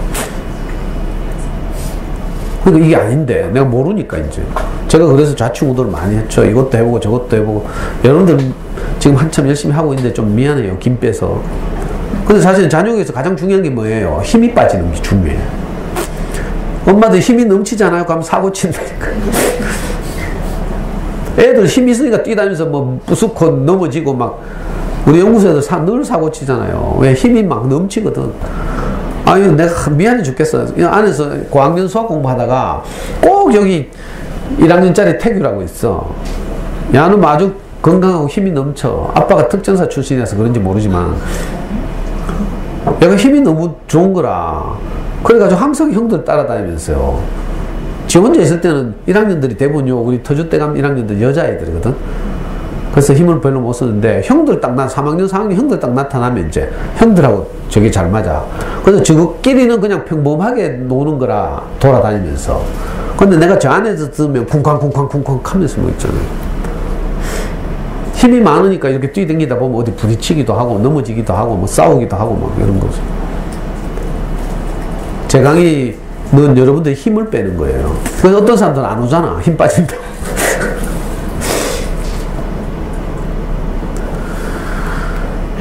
진짜 큰일 날 뻔했죠. 저는 아무것도 몰랐거든요. 진짜로. 그냥 공부만 잘하면 될 줄 알고, 이 아이가 행복해질 줄 알고. 그러다가 많은 실패를 하고요. 시행착오를 하고. 진짜 저는 우리 수성아 만나서 큰일 날 뻔했어요. 제 인생 전체도 그렇지만 특히 우리 아이 교육에 있어서도 우리는 뭐 스승님이 뭐 교육에 대해서 알겠어요? 교육을 내한테 가르친 거 아니잖아요.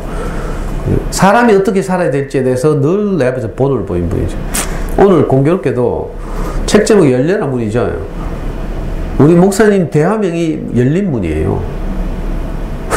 오픈도 열린 문.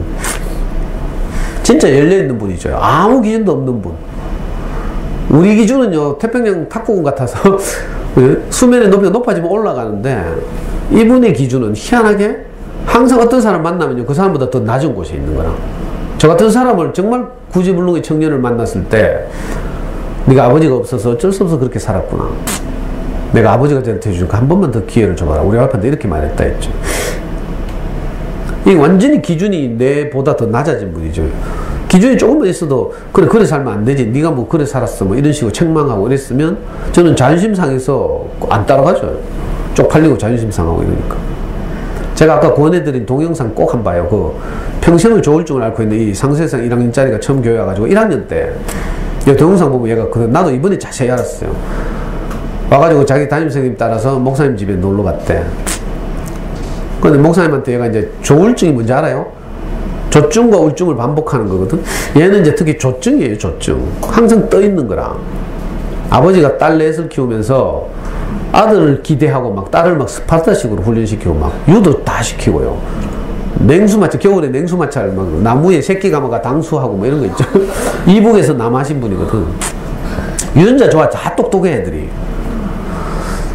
그 중에 한 딸은 이 지역에서 지금 중학, 중학교 선생님 하고 있어요. 다 공무원이라. 공부 진짜 잘해, 애들. 얘도요, 기억력이 얼마나 비싸. 우리 교회 모든 차의 차량 번호를 다 외우고 있다니까. 그런 애들 가끔 있죠. 숫자에 밝고 민감하고 천재라, 천재, 어떤 면에서. 또, 목사님 말씀 얼마나 잘 듣고 기억하는지 몰라. 얘가 하는 거 들으니까 상세상 1학년 때 담임선생님 따라서 목사님 집에 갔는데 벌써 20년 넘은 이야기예요. 자기가 조증이니까 그죠? 약은 그때 안 먹을 때거든요. 막 목사님한테 자기가 아버지한테서 그 고생하면서 산 이야기 있잖아. 아빠가 딸을 기대하고 막 이랬는데 자기가 내 딸 중에 제일 심약해가지고 뭐 이런 이야기 막 그걸 계속 하는 거라 저녁에 놀러 가가지고 계속. 그러니까 자기를 데리고 간 담임선생님도 지쳐서 집에 가보고 목사님하고 둘이 남아서 계속 이야기하는 거야. 그걸 언제가 8시간을 했다. 8시간을. 고등학교 1학년짜리가 8시간을 자기 인생을 계속 목사한테 이야기해요. 얘는 저쪽에 있어가지고 침이 계속 튀거든. 그러니까 얘가 그렇게 말했다잖아요. 응? 목사님 침 많이 튀어서 죄송합니다 하니까 목사님 하신 말씀이 어?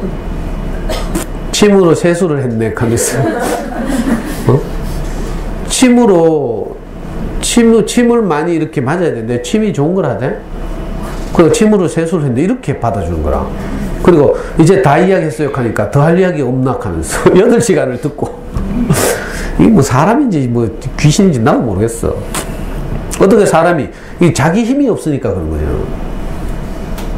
바쁜 일이 없으니까. 저도 해보니까 조금 경험했거든요. 옛날엔 정말 제가 정말 바빴어요. 아무 할 일도 없으면서. 마음이 바쁜 거야, 마음이. 급하고 뭐 항상 쫓기고 막. 그냥 있지를 못했어요. 그러니까 한 자리에 잘 앉아 있지를 못하지.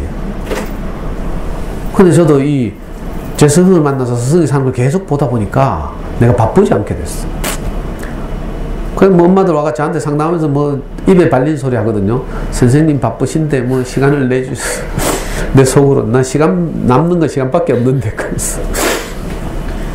진짜 이 기준이 없는 분, 이, 이 상세에서 1학년짜리의 눈높이보다 더 낮게 내려가서 이 아이가 전혀 부담스럽지 않게 하시는 분, 이런 분이죠. 그래서 대한민국 열린 문이죠, 열린 문. 그러니까 우리가 진짜 어, 행복으로 가는 건요, 어떤 사람이 문이 되는 거예요. 어떤 사람을 통과해서 그 사람이 누리고 있는 그 행복 안으로 들어가는 거죠.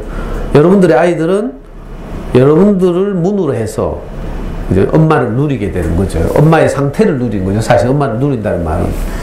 엄마가 막 짜치고 뭐 시댁에 무슨 있는데 열받고 막 익하고 있으면 아이들은 그걸 그대로 누려. 그래서 진짜 아이를 잘 키우려고 하면요. 여러분들이 행복해야 돼요. 다른 거 하나도 없어요. 내 상태가 좋으면 애 안 잡아. 잡을 일도 없고. 뭐. 저는 요즘 상태가 좋으니까 막 우리한테 내가 입만 열면 카톡이 되고 어? 어? 아빠는 너를 사랑해 하고 이번에도요 그 캐나다 그 김치현 목사의 그 아까 글 있죠 딸에게 보내는 걸 딸을 보내면 하는 거를 우리 가족 단톡방에 딱 올렸어요. 그랬더니 바로 애가 보통 웬만한 거 올리면 뭐 쉽거든. 근데 그거 딱 올리니까 바로 누가 쓴 글이고 하면서. 근데 지금 엄마가 하나 찍으니까 엄마는 바보가 하면서 지금 여기 해외에서 썼잖아 하면서 쭉 읽어보면 해외에서 쓴 흔적이 나오거든. 그래가지고 이제 두 번째 엄마가 알아맞혔어. 그러니까 애가 하는 말이 그래 엄마 아빠 나도 엄마 아빠 사랑해 하면서. 바로 어떤 것이 딱 공급되니까 어떤 반응이 딱 나오는 거예요. 어떤 씨를 뿌리니까 어떤 열매가 맺히는 거죠. 무슨 말인지 알겠어요? 내가 아이들에게 어떤 마음을 이야기하면 아이들에게서 어떤 반응이 이끌려, 이끌, 어져 나와요. 그 여러분들 이거 수시로 이걸 일상을 살면서 이걸 하는 게 제일 중요하죠. 자존감을 높이는 다른 방법이 없어요. 뭐 기술은 다른 분들에게 많이 배우고 뭐 표현은 어떻게 하고 뭐 아이들 감정 코칭은 어떻게 하고 이게 전부 테크닉이나 기술이죠. 그건요 근원적인 해결책이 못 돼요. 지난주에 어떤 피어로님 카드라고 270회까지 들었는데 너무 좋아가지고 한, 한 해도 안 빠져놓고 들었대. 근데 선생님 강의를 딱 듣고 나서 보니까 그건 물론 감동도 있고 재미도 있지만 단편적이라는 거라. 제가 제 입으로 이야기하려고 그렇지만 저는 이거 다 배운 거죠. 내게서 나온 것이 아니고요. 다 저한테 온 거예요. 근원적인 특정한 테크닉이나 방법을 말하는 게 아니라 근원적인 우리 인간의 삶에 대해서 내가 배운 거죠. 그래서 저는 우리 아이한테 기회만 있으면 이 말을 하거든요. 아빠는 어떤 경우에도 너를 사랑한다. 너는 이 세상에서 가장 소중하다. 이번에도 그렇게 했어요. 엄마 아빠 사랑해 가길래 내가 화답했죠. 그래 아빠 어 그래 우리 아들 너는 이 세상에서 가장 소중한 존재란다 이렇게 했어요. 27 먹은 애한테. 그랬더니 만나 하면서 이 무슨 말이에요? 접수했다는 뜻이잖아요. 그 말 들으니까 기분이 좋다 이런 뜻이에요. 만나 한마디 한 거라. 왜? 지도 해외 나가서 바삐 살다 보면 그것도 외국인이 해외 기업에 들어가가지고 직장 생활하다 보면 많은 스트레스 받을 거 아니에요. 내가 제일 걱정은 그거거든요. 일본 사람들이 우리나라 사람들 뭐 인간 취급하겠어요? 많이 문화가 발전하긴 했지만 그래도 그 깔려 있는 게 있죠. 우리가 왜 은근히 나도 모르게 다문화 가정 시집 온 사람들 좀 약간 좀 이렇게 뭔가 우리보다 뭐 못한 사람처럼 이상하게 이게 느껴지는 그런 이, 이상한 의식이 있죠. 뭐 말레이시아나 베트남에서 시집 온 여자들이나 아니면 성소공단에서 일하는 그런 그냥 아시아계 노동자들 보면 우리하고 피부도 좀 다르고 좀 덩치도 왜소하고 그러니까 왠지 모르게 우리가 좀 그런 게 있잖아요. 우리나라에서 일본 가면 그거 똑같은 거라. 근데 뭐 걱정을 많이 하거든요. 스트레스도 많이 받겠구나 싶고.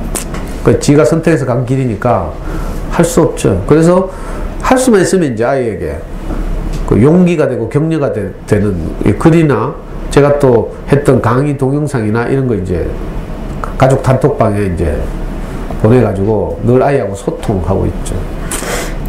여러분들도 아 내가 우리 아이의 문이구나 이걸 깊이 인식할 필요가 있어요. 결국은 아이는 나를 통해 들어와서 내 상태를 누리는구나. 다른 방법이 없어요. 뭐 테크닉의 문제가 아니니까. 그러니까 무조건 여러분이 행복해지고 봐야 돼요.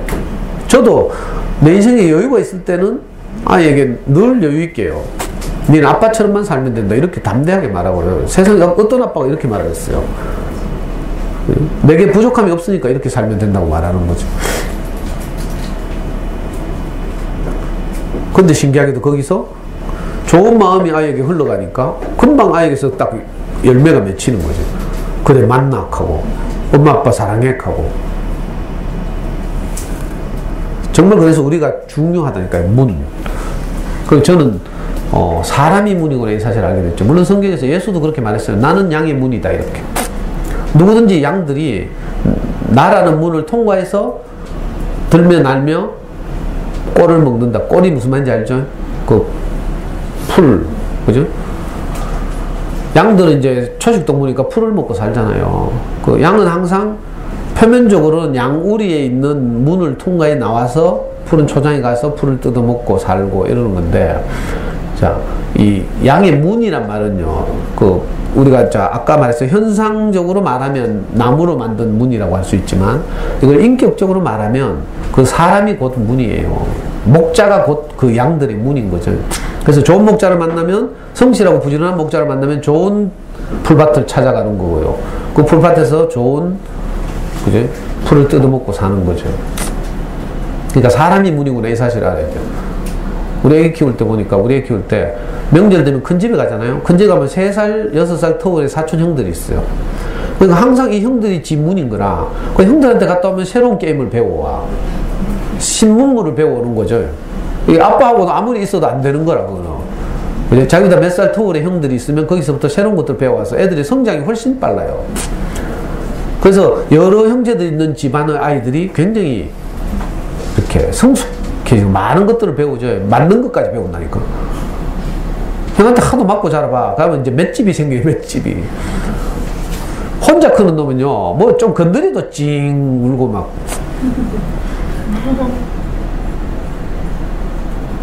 우리 연구소에서 아이들이 이렇게 같이 지내보니까 진짜 신기하다니까. 여기 초등학교 1학년짜리부터 중학교 2학년짜리까지 있어요.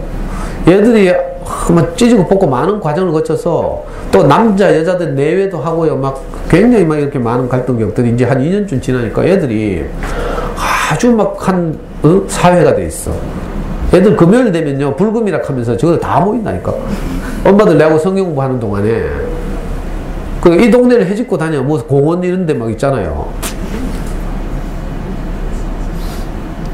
그래가지고 막 나중에 민원 안 들어오나 몰라. 막. 근데 이러면서 애들이 다다 배우는 거죠. 언니들한테 배우고 오빠들한테 배우고 찌지고 뽑고 살고 하면서 함께 사는 법을 배워가더라고요. 진짜 신기하죠. 저도 이제 사실은 제가 아무것도 몰랐는데 이걸 배운 거죠. 공교롭게도 그 대한민국 열린문인 제 스승을 만나서 정말 자기 기준이 없는 분. 누구를 만나도 그 사람이 자유할 수 있도록 그 기준이 그 사람보다 더 낮아진 분. 진짜 신기하더라고. 하루는 어떤 자매가 목사님한테 찾아가서 자기는 아주 절박한 마음으로 이제 자기 아들이 성정체성 혼란을 겪고 있는 아이예요. 그 목사님이 늘 이제 그 하나님과 사람이 만나서 하나가 되는 이것을 제시하기 위해서 그 사람은 하나님의 형상이거든요. 우리 목사님 이렇게 제가 말씀을 들어보니까 아, 사람이 원래 사는 목적은 하나님의 형상인 거예요. 그러니까 하나님이 내용이고 우리는 그를 나타내는 형상인 거죠. 우리가 어떤 마음이 들어오면 그 마음을 나타내잖아요. 사람은 그런 구조로 되어 있어요. 그래서 목사님 늘 그 비유를 하면서 성경에 남녀 비유로 말해요. 남자와 여자가 합하여 한 몸을 이룰지로다 이렇게. 그래서 뭐 보통 이제 신부님이나 목사님들 주례사에서 이 말 많이 하죠. 창세기 2장에 나오는 말. 둘이 합하여 한 몸을 이룰지로다 이 말이 있어요. 그 남자와 여자가 만나서 하나가 되는 것처럼 이건 표면이죠. 현상계예요. 근데 이 대학에는 뭔가 하면 전혀 이질적인 두 남자가 만나서 하나가 되는 것처럼 그죠? 그래서 자식이 나오는 것처럼 하나님과 내용이신 하나님과 생명이신 하나님과 생명 없는 그 껍데기 같은 흑인 사람이 만나서 뭐가 나와요? 아름다운 마음이 나오는 거라. 이걸 늘 우리한테 말씀하셨어요. 근데 예를 들 때 이제 이걸 가장 알기 쉽게 말하기 위해서 제일 많이 드는 게 남자와 여자의 결혼을 예로 많이 들죠. 성경에서도 그렇고 또 흙과 씨의 예도 많이 들고. 근데 이 자매가 자기 아들이 성정체성 혼란을 겪고 있어. 그 하루는 목사님한테 가서 따졌잖아요. 목사님, 목사님 왜 자꾸 남자와 여자의 결합이라고? 하나님과 사람의 결합이, 연합이 왜 하필 남자와 여자의 결합이라고 이렇게 자꾸 예를 듭니까? 요즘은 남자와 여자만 있는 게 아니죠. 여러분도 알아요? 뭐 뭉치노. 남자, 요즘 성정체성이 남자, 여자만 있는 게 아니에요. 젠더가 성체성, 성체성, 성정체성이 혼란을 겪고 있는 많은 아이들이 있어요. 옛날에 이게 저 감추어져 있어 몰랐죠. 그래서 뭐 오만 종류다. 저도 이런 상담을 많이 해봤는데 여러 종류의 성정체성이 있어요. 성전환을 한 트랜스젠더도 있지만 성전환을 하지 않은 이, 이 이상한 애도 있죠. boy lady 이런 애도 있어요. boy인데 레이디처럼 옷을 입고 다니는 걸 좋아하고 화장하고 이런 걸 좋아하는 애도 있고요. 레즈비언도 있고 반대로 남자애들 호모도 있고요. 이것도 그냥 일반적으로 레즈비언과 호모가 그냥 단순한 게 아니고 여러 종류가 있더라고. 이게 이제 성정체성, 성정체성이라고 부르죠. 우리는 막 특히 보수적인 기독교에서는 저건 뭐 귀신이 씌인 것이다 하고 막 정신을 개줘야 된다 하고 사실 그게 아니거든요. 어쩔 수 없이 그렇게 이제 그게 드러나는 거죠. 그이 엄마가 가서 막 목사님한테 따졌잖아요. 왜 목사님은 남자와 여자의 결혼으로 하나님과 사람의 연합을 자꾸 예를 듭니까? 하니까 이 자매의 사정을 아는 목사님이 거기서 바로 자기 죽음을 딱 내놓는 거라. 성경에 분명히 그렇게 나와 있고 남자 여자의 결혼이라고 말하고 또 이 호모섹수얼에 대해서는 아주 비난 구약성에서 비난하고 있거든요. 그래서 보수적인 문자에 사로잡힌 사람들은 예? 귀신 쓰인 것이다 하고 그걸 개조해야 된다고 막 비난하고 정신병자라고 막 이래요. 근데 목사님은 그 자매 앞에서 바로 자기 모든 기준을 해체하고 아 그것은 하나님과 사람의 연합을 그죠?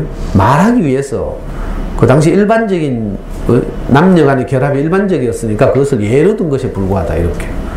그러니까 자기 성경에 나오는 이야기지만 사람을 살리기 위해서 바로 그 기준을 내려놓고 한 예에 불과하니까 너무 걱정하지 마라.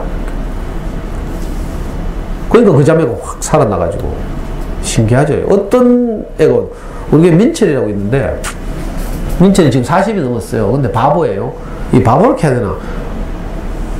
지능이 전혀 거의 없는 그 40인데 아무 생각이 없어요. 그래서 계속 돌아다니고 있거든요. 근데 이 엄마가 처음에 아이를 키울 때 너무 이게 막 속상해가지고요. 그 목사님한테 상담하러 갔더니 목사님 뭐라고 말하는가 하면 민철이는 완전하다 이렇게 모든 생명은 부족함이 없다 이렇게 말하는 거예요. 민철은 민철이대로 우리 기준으로 보니까 지능이 좀 부족하고 이래서 뭐 이런 거죠. 민철이는 전혀 그런 거 없어요. 의식을 못 하는데. 뭐. 그리고 제일 많이 웃고 돌아다녀요. 걔가 희한하게 내를 좋아해가 가끔씩 가다 내, 내 옆을 지나가다가요. 툭 하면 치고 간다. 그리고 이런 시감 쳐다보고 이렇게 하고. 처음 온 사람들 당황하지. 자기 목 쳐다보니까 놀래가지고 막. 근데 아무 부족함이 없다는 거야. 이거 잘 알아야 되는데. 저도 우리 연구소에 있는 아이들 보잖아요. 다양한 아이들이 있어요. 물론 공부를 시키기 때문에 내가 고함도 지르고 막 하지만 애들은 애들대로 다 온전해요. 신기하다니까. 우리가 알고 있는 애들이 아니고. 어떤 애가 있었는데, 우리 저기 아가소님 장남이 있어요. 네 남매 중에 첫째가 사, 한샘초등학교 4학년인데, 평소에 얘가 자고 수업 안 할 때는 여기 어떻게 오면 조용하게 책만 읽고 아무 말도 안 해요.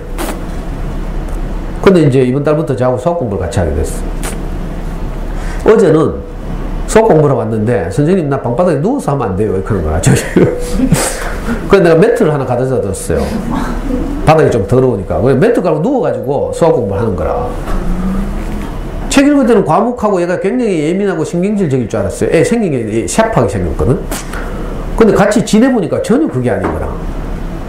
얼마나 자유하면 선생님 방바닥에 누워서 공부해도 돼요.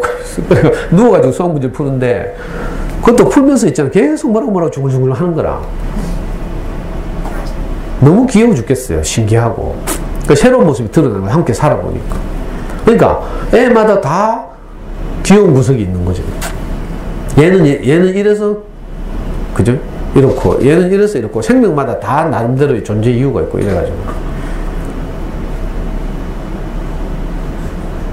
제가 이렇게 카트라인 없는 스승을 만나서 이렇게 함께 살다 보니까, 나도 모르게 그걸 배우는 거죠. 그것도 계속 어떤 말씀을 듣고 하니까, 내게서 점점 카트라인이 낮아졌어.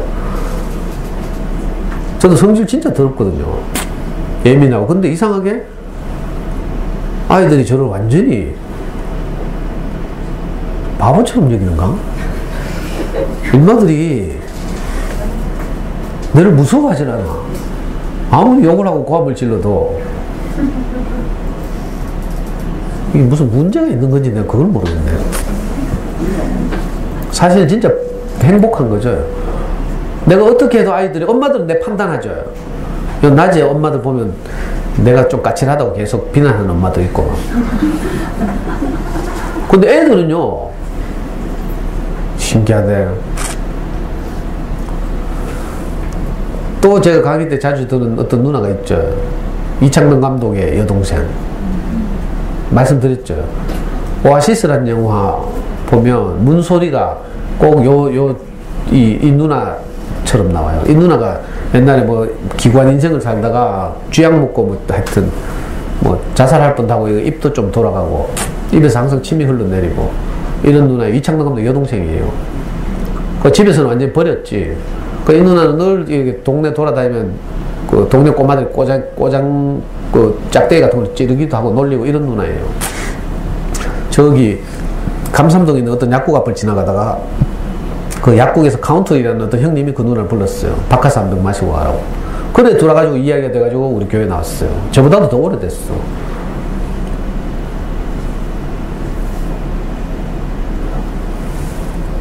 그래가지고 자기가 처음으로 사람 취급해주는 사람들을 만난 거죠. 그이 누나는 지금도요. 우리 교회 와봐야 이걸 알 수 있는데 이 누나는 우리 교회에서 제일 권력이 세요. 목사님이 말씀하잖아요. 우리 목사님은 이제 보통 교회 설교하듯이 뭘 가르치고 이런 걸 하면 20분 하면 돼. 왜 지겨워서 안 듣거든. 근데 우리 목사님 우리를 행복하게 하는 말을 하니까 1시간 넘게 해요. 근데 이 누나는 집중력이 한 50분밖에 안 돼. 50분을 지나가면 있잖아요. 이 누나가 계속 목사님한테 영감 좀 그만해라.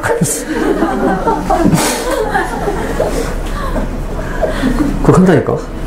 그리고 목사님 말씀 끝나고 우리 간증을 하잖아요. 간증이 좀 재미없잖아? 그럼 마이크 뺏어 보고. 좀 길잖아? 빨리 해라 하고 뭐.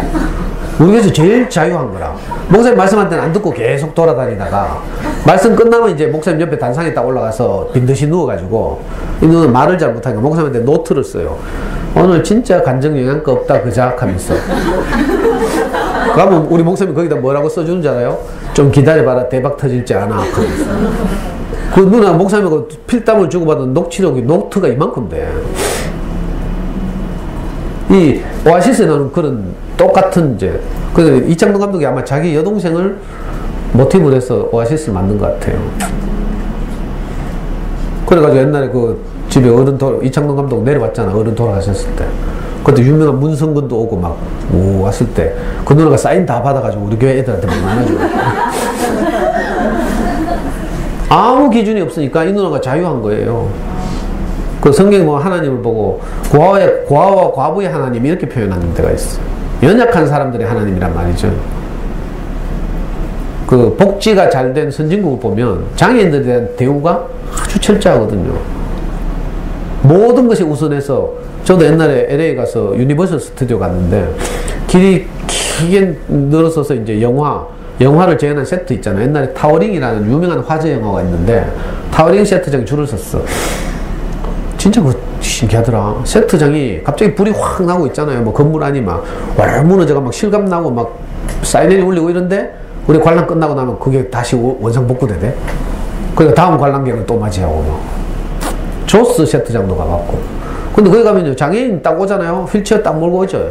하면 제일 앞에 착 가서 완전, 그죠? 이거 뭐라 카노, 이거. 베이, 베리어 풀인가 뭐. 계단 없는 이 공간 설계 있잖아요. 이래가지고. 선진국일수록 그렇게 잘 되어 있는 거죠. 그 좋은 사회일수록? 약하고, 힘없고, 가난한 사람들이 행복하게 사는 사회인 거죠. 제일 마지막에 가면 성경이 제일 마지막에 가면 한 새로운 사회를 제시하고 있어요. 여러 철학이나 종교나 사상마다 다 새로운 사회를 제시하고 있죠. 뭐 기독교는 뭐 이상하게 왜곡돼가지고 죽고 나서 가는 천국 이렇게 하고 있지만 그거 말고 동양에서는 무릉도원, 뭐 불교에서는 극락, 또 토마스 모 같은 분은 유토피아, 어 마르크스 같은 분은 공산주의, 커뮤니티 뭐 이런 걸 전부 인류의 대안으로 제시하고 있어요. 그리고 그걸 실천하려고 하는 많은 공동체들이 있고 성경에서도 한 아름다운 사회를 제시하고 있거든요. 성경이 제일 마지막에 요한계시록이라는 성경인데 거기 가면 한 아름다운 사회가 하늘에서 내려온대. 하늘에서 내려온다는 말은 UFO 내려온다는 말이 아니에요. 그죠? 우리 땅에 없는 한 아름다운 사회가 나타난다 이런 말이죠. 하나님의 마음을 가진 사람들의 사회가 나타나는데 다른 건 다 말 못하고 오늘 문의 주제니까 그 아름다운 사회의 성의 새 예루살렘, 새 예루살렘 성이라고 불러요. 왜 에데루살렘이 저 지금 이스라엘 수도잖아요. 그냥 예루살렘, 물리적인 예루살렘. 여기는 인격적인 한 사회라는 뜻이죠. 그 예루살렘이라는 한 사회 문이 진주로 되어 있대. 진주문. 무슨 말인지 알겠어요? 진주 알죠? 진주. 진주문이라는 말, 진주는 어떻게 형성되는가 하면 조개가 어떤 이유로 왜 플랑크톤 같은 걸 먹으려고 입을 쫙 벌렸는데 모래 하늘에 딱 굴러 들어와요. 그래 진주 조개 속살이 박히는 거죠. 그러면 이 조개가 통증을 느끼는 거예요. 그래서 이 통증을 이기려고 자기 생명 안에서 계속 어떤 액체를 분비해낸데 그래가지고 요 모래를 계속 감싸는 거예요. 그래가지고 몇 년이 흐르면 오랜 세월이 흐르면 모래를 중심으로 해서 알갱이 하얀 알갱이가 형성되죠. 이게 진주죠, 진주. 그래서 진주 양식을 하는 사람들은 일부러 조개 입을 벌려가지고 상처를 내잖아요. 무슨 말인지 알겠어요? 그게 진주인 거라. 그러니까 진주는 뭔가 하면 많은 과정을 거치고 그죠? 그 많은 과정을 이기고 승리한 많은 과정을 지나온 어떤 사람의 인격 이게 우리에게 진주문인 거죠. 그 아름다운 사회로 들어가는데 진주로 된 문이 있어. 그러니까 그죠? 나보다 먼저 지난주에 말씀드린 것처럼 저는 정말 절망적이었는데 저보다 더 절망적인 경험을 한 사람이 내게 문이 되는 거야. 암 환자들에게는요, 어떤 위로도 위로가 안 되죠. 보통, 그래서 그 암 환우회 이런 데 가서 위로를 많이 받아요. 그런 것처럼. 여러분들이 자녀교육하고 아이들하고 이렇게 함께 지내면서 어려우니까 제가 많이 위로되죠. 유튜브 강의 많이 들으시는 분들 보면 제가 많이 위로가 된대. 왜냐하면 제가 그 과정을 거쳤으니까 그렇죠. 제가 거치지 않고 이론을 말하면 재미가 없잖아요. 그러니까 과정을 거친 어떤 인격이 사람이 내게 문이 되는 거예요. 진주 같은 사람. 상처를, 그죠? 자기 생명의 어떤 것을 분배해내서 감싸고 감싸서 상처가 더 이상 상처가 아니라 영롱한 보석이 된 사람. 저도 지금 생각하니까 제게 많은 상처가 있었는데 그 상처가 전부 내가 들은 말씀으로 다 감싸져서 지금 어떻게? 남들에게 자랑하는 보석이 됐어. 우리 마누라 내버린 사건. 내가 가장 자랑스러운, 자랑스러운 좀 약간 그렇긴 하지만 내 가장 부끄러운 사건인데 동시에 오늘 나를 복되게 한 가장 결정적 사건이거든요. 그래서 내가 그걸 전혀 부끄러워하지 않죠. 왜? 이미 내게서 나온 내가 들은 내게 조성된 생명이 이걸 감싸는 물질을 분비해낸 거라. 그래서 저는 그게 전혀 부끄럽지 않아요. 부끄럽지 않으니까 처음 보는 분들한테 그렇게 말하죠. 이번 주에 누가 쪽지 와서 카더라고. 선생님 강의 잘 듣고, 아, 댓글이구나. 우리 선생님 강의 잘 듣고 있어요 하면서 유튜브 보시는 분이, 광주에 사시는 분이 이번 학기에도 처음 오시는 분들이 많을 텐데 어떻게 그 부끄러움을 다 이야기하는지 너무 감사하다 하면서. 왜냐면 그래야 위로가 되거든. 그리고 더 말씀을 깊이 들으면 어떻게 되는 줄 알아요? 지난주에 오셨던 분 같이 아이가 그 정말 절망적인 암 투병을 하는 이런 분에게도 내가 전혀 거리낌이 없어요. 내가 아무 경험도 없는데, 그죠? 보통 여러분들 주변에 누가 그렇게 심하게 하면 위로할 말이 없죠. 그래서 제가 말씀을 계속 듣다 보니까, 그죠? 인생은 원래 어찌할 수 없는 환경에 몰려가서 그것을 받고 사는 것이 인생이죠. 그리고 죽음이 늘 내 눈앞에 와 있고, 그 말을 늘 들었거든요. 그러니까 사실은 어, 어려움을 겪은 분들이 내하고 다른가 하면 그렇지 않아요. 우리 형이 그렇게 말했죠. 우리 모기님 동생이 마지막 이제 위암 투병을 할 때 재작년에 우리 형을 찾아왔어요. 왜냐면 우리 막내도 그때 위암 투병을 하고 있고 그래서 우리 형이 막 책도 읽고 연구해가지고 비타민 그 말기니까 가능성도 없고 하니까 비타민 요법을 한번 써보자고 해서 내 동생이 비타민 요법을 쓰고 이랬거든요. 그래서 모기님 동생도 그때 우리 형한테 그 우리 형 병원 진료실에 왔어요. 상담하러. 그때 우리 형이 바로 묻는 말이 네 죽음이 두렵나 이렇게 물었어요. 보통은 이래, 이런 이런 환자도 그런 말 못 하잖아요. 그하니까 이 모기님이 우리 형이 너무 겁이 났대. 아무도 이런 말 못하고 죽음이라는 말을 입에 못 올린 거암 환자 앞에. 근데 우리 형은 바로 네 죽음이 두렵나 그랬어. 왜 우리 형이 그렇게 담대하게 말하는 줄 알아요?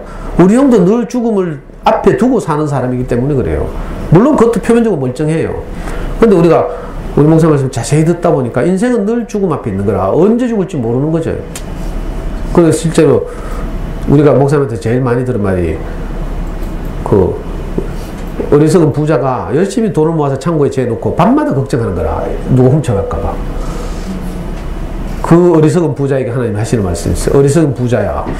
오늘 밤 내가 네 영혼을 거둬가면 네가 그렇게 애써 모은 것이 누구 것이 되겠느냐 이렇게. 이거 우리 인생을 향해서 하는 말이죠. 그래 이 말씀을 늘 들었어요. 아 나도 저 사람과 같구나. 나는 아까 말한 그 오아시스의 주인공 같은 그 교회 누나 있잖아요. 많은 사람들이 저런 사람을 우리 목사님이 받아준다고 생각한다. 또 아까 조울증을 앓고 있는 그, 그 자매를 우리가 받아준다고 생각해요. 전혀 그렇지 않아요. 받아주는 게 아니라 나도 그 사람이기 때문에 함께 사는 거죠. 그냥 걔도 그런 환경에서 그렇게 자랐으니까 그런 병이 생긴 거예요. 그죠? 저도 그렇게 태어나서 꼭그 병이 생기잖아요. 저는 그 자매에게 없는 다른 고질병이 또 있거든. 왜? 내가 살았던 환경 때문에 생긴 내 트라우마나 이런 게 많이 있죠. 그러니까 그 사람과 내가 표면적으로는 다르지만 사실은 다르지 않아요. 그래서 우리는 받아주고 배려해주고 이런 거 없어요. 윤주란 애가 오잖아요. 나는 발로 찬다니까. 내 앞에 1m 앞에 오지 말라. 왜냐면 걔는 조금만 받아주면 계속 손 만지고요. 안고. 남들은 받아준다고 해서 받아주지. 난 똑같이 지금 똑같이. 야, 침 튄다. 1m 안으로 오지 마라. 내가 좀 받아줬거든, 옛날에. 받아주니까 우리 성경부 모임이 와가지고 막 완전 깽판을 만들어 놓는 거라. 내 욕을 막 하고 막. 극하고 이틀 후에 병원에 실려갔잖아. 그 정신병 여섯 번 갔거든, 여섯 번. 갈 때마다 두 달씩. 또 하루는요, 새벽 6시 우리 집에 찾아왔다니까. 예, 조금만 자기를 받아주면 이게 조증이 있대 약안 먹잖아요. 그러면 이제 이렇게 되는 거예요. 그래가지고 우리 와이프 출근하려고 준비하다 놀래가지고 6시에 누가 벨 눌러가지고 여기 화면 보니까 윤준 거야. 그래, 우리 와이프가 떨면서 막, 여보, 여보, 우약고, 우약고. 그냥 모른 척하고 그냥 데리고 하지 마라. 받아주는 게 아니에요. 나도 그 사람이에요. 이상하죠? 우리가 똑같은 사람인 거라 이거 놀라운 걸 우리가 배웠어요. 열린 문인 거죠. 우리 아이들이 다 다른 것 같고 특징도 있고 뭐 장단점도 있는 것 같죠. 아이들마다 다 아름다움이 있어요. 이 윤준한 애는요, 간증을 얼마나 잘하는지 몰라요. 말씀을 너무 깊이 소화해가지고. 단지 병이 있을 뿐이지. 병 때문에 말을 너무 길게 오래 하는 거라. 그래가지고 병원에 가서 그 조증을 가라앉히는 약을 먹잖아요. 그러면 혓바닥에 말려서 말을 못해요. 얘는 간증하고 싶은데 말하고 싶은데 말을 못하니까 일부러 약을 안 먹는 거라. 간증할 때 되면 약을 딱 숨겨요. 말, 딱 들어보면 알아. 저기 병원에 갈 때 다 돼가는구나. 그럼 내가 캐요. 야, 니 곧 병원 가겠다 하면서. 빨리 약 먹으라 하면서. 내와 걔가 똑같으니까 우리가 이런 말을 하는 거죠. 우리 형이 그 말기암 환자하고 전혀 다를 게 없으니까 언제 죽을지 몰라요, 실제로. 그러니까 죽음 앞에 늘 서 있는 마음으로 대하니까 전혀 뭐 위축되거나 두려울 게 없죠.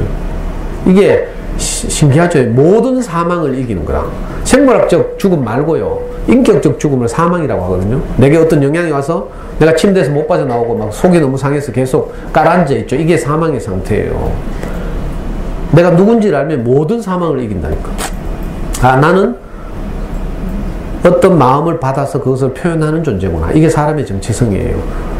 이걸 성경적으로 말하자면 하나님의 형상이구나. 하나님은 생명이고 사람은 형상이라서 이 생명이 형상, 형상 안에 들어와서 사람을 통해서 이 표현되는 거죠. 전기가 발전소에 있잖아요. 등은 전기의 형상이에요.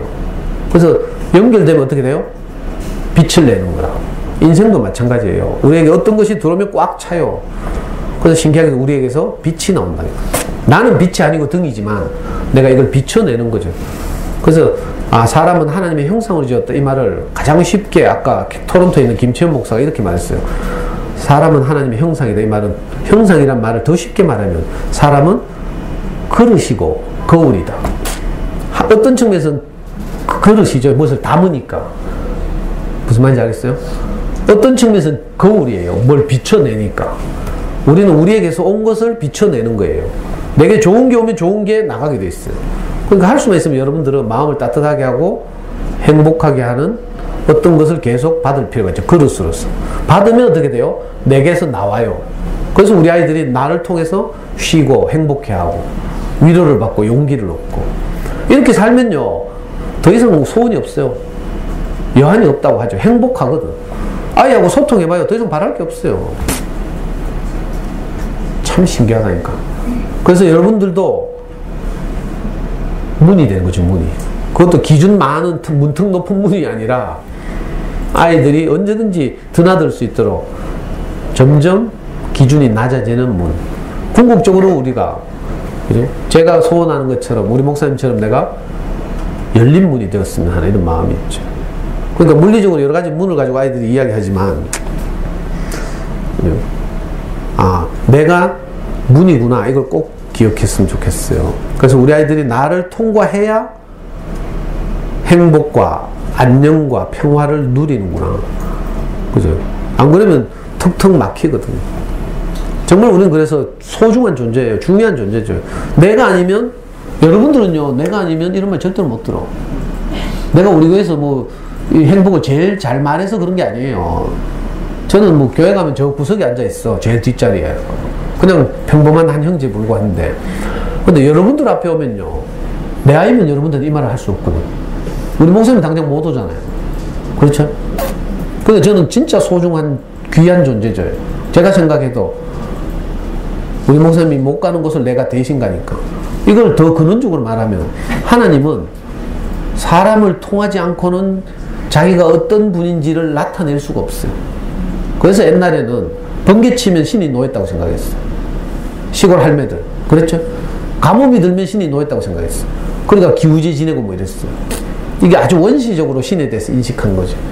근데 우리가 인격적인 신을 만나고 보니까, 그죠?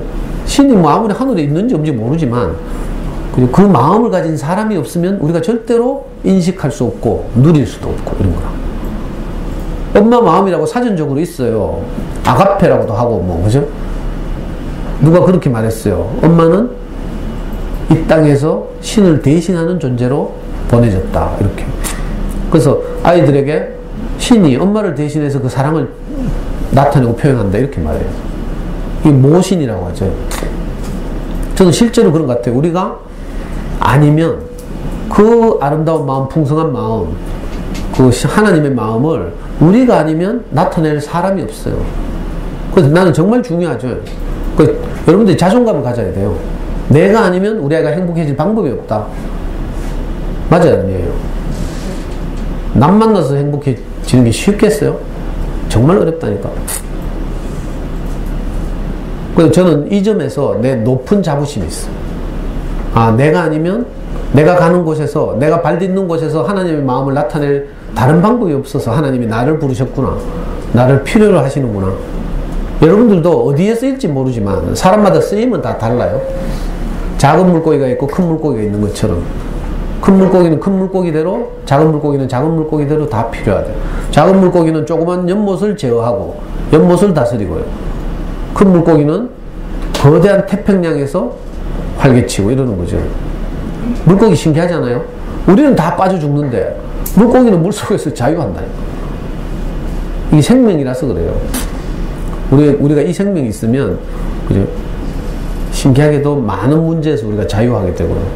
여러분들은, 제가 그런 것처럼 여러분들도 정말 소중한 존재예요. 왜냐하면, 이, 이 아름다운 마음을, 이 사람을 살리는 마음을, 우리 아이를 행복하게 하는 마음을 내가 아니고서는 아이에게 나타낼, 전할 방법이 없어요. 다른 길이 있으면 뭐, 과외시키면 되지. 수학 공부 시키듯이 공부방 보내면 되겠어요. 공부는 그렇게 할 수 있지만, 그죠? 우리 아이를 행복하게 하는 것은 내가 문이 되는 거죠. 인격적인 문. 누구나, 가능하면 이게 우리가 점점 이제 생명이 자라면 어떻게 된가 하면, 누구나 와서 먹고 마시는 문. 동네 옆편네들이 와서. 여러분들 잘 보라니까? 내가 아무것도 아니었잖아요. 그런데 지금은요, 많은 사람들이 저한테 와서 상담한다니까. 자퇴 상담, 이혼 상담, 뭐 오만 것 저한테 다 하거든요. 우리 와이프는 내 버렸는데. 안 신기해요? 여러분들도 그렇게 된다니까? 우리 모기님 봐요, 모기님. 주변에 다른 엄마들이 뭐라 한 줄 알아요, 모기님 보고? 재수 없다 했어. 진짜로. 농담 아니고요.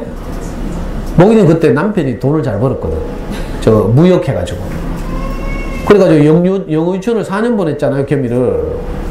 그리고 영어 유치원 다니는 옆에 내다고 수준 맞추려고 남편 쫄라가지고 명품백을 한 방에 다섯 개 샀어. 지금도 집에 있잖아. 그리고 오만 사교육을 다 시켰어요. 겸이가 아까 썼다는 그거 있죠. 그거 한번 읽어봐. 엄마도 잊어버리고 모르는 사교육도 겸이가 기억하고 있대. 대한민국에서 좋다는 사교육을 다 시켰어요.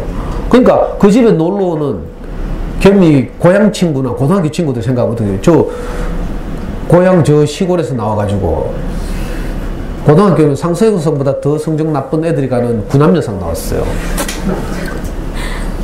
근데 돈 있다고 막 그렇게 돈지나면서 아이를 키우니까 어?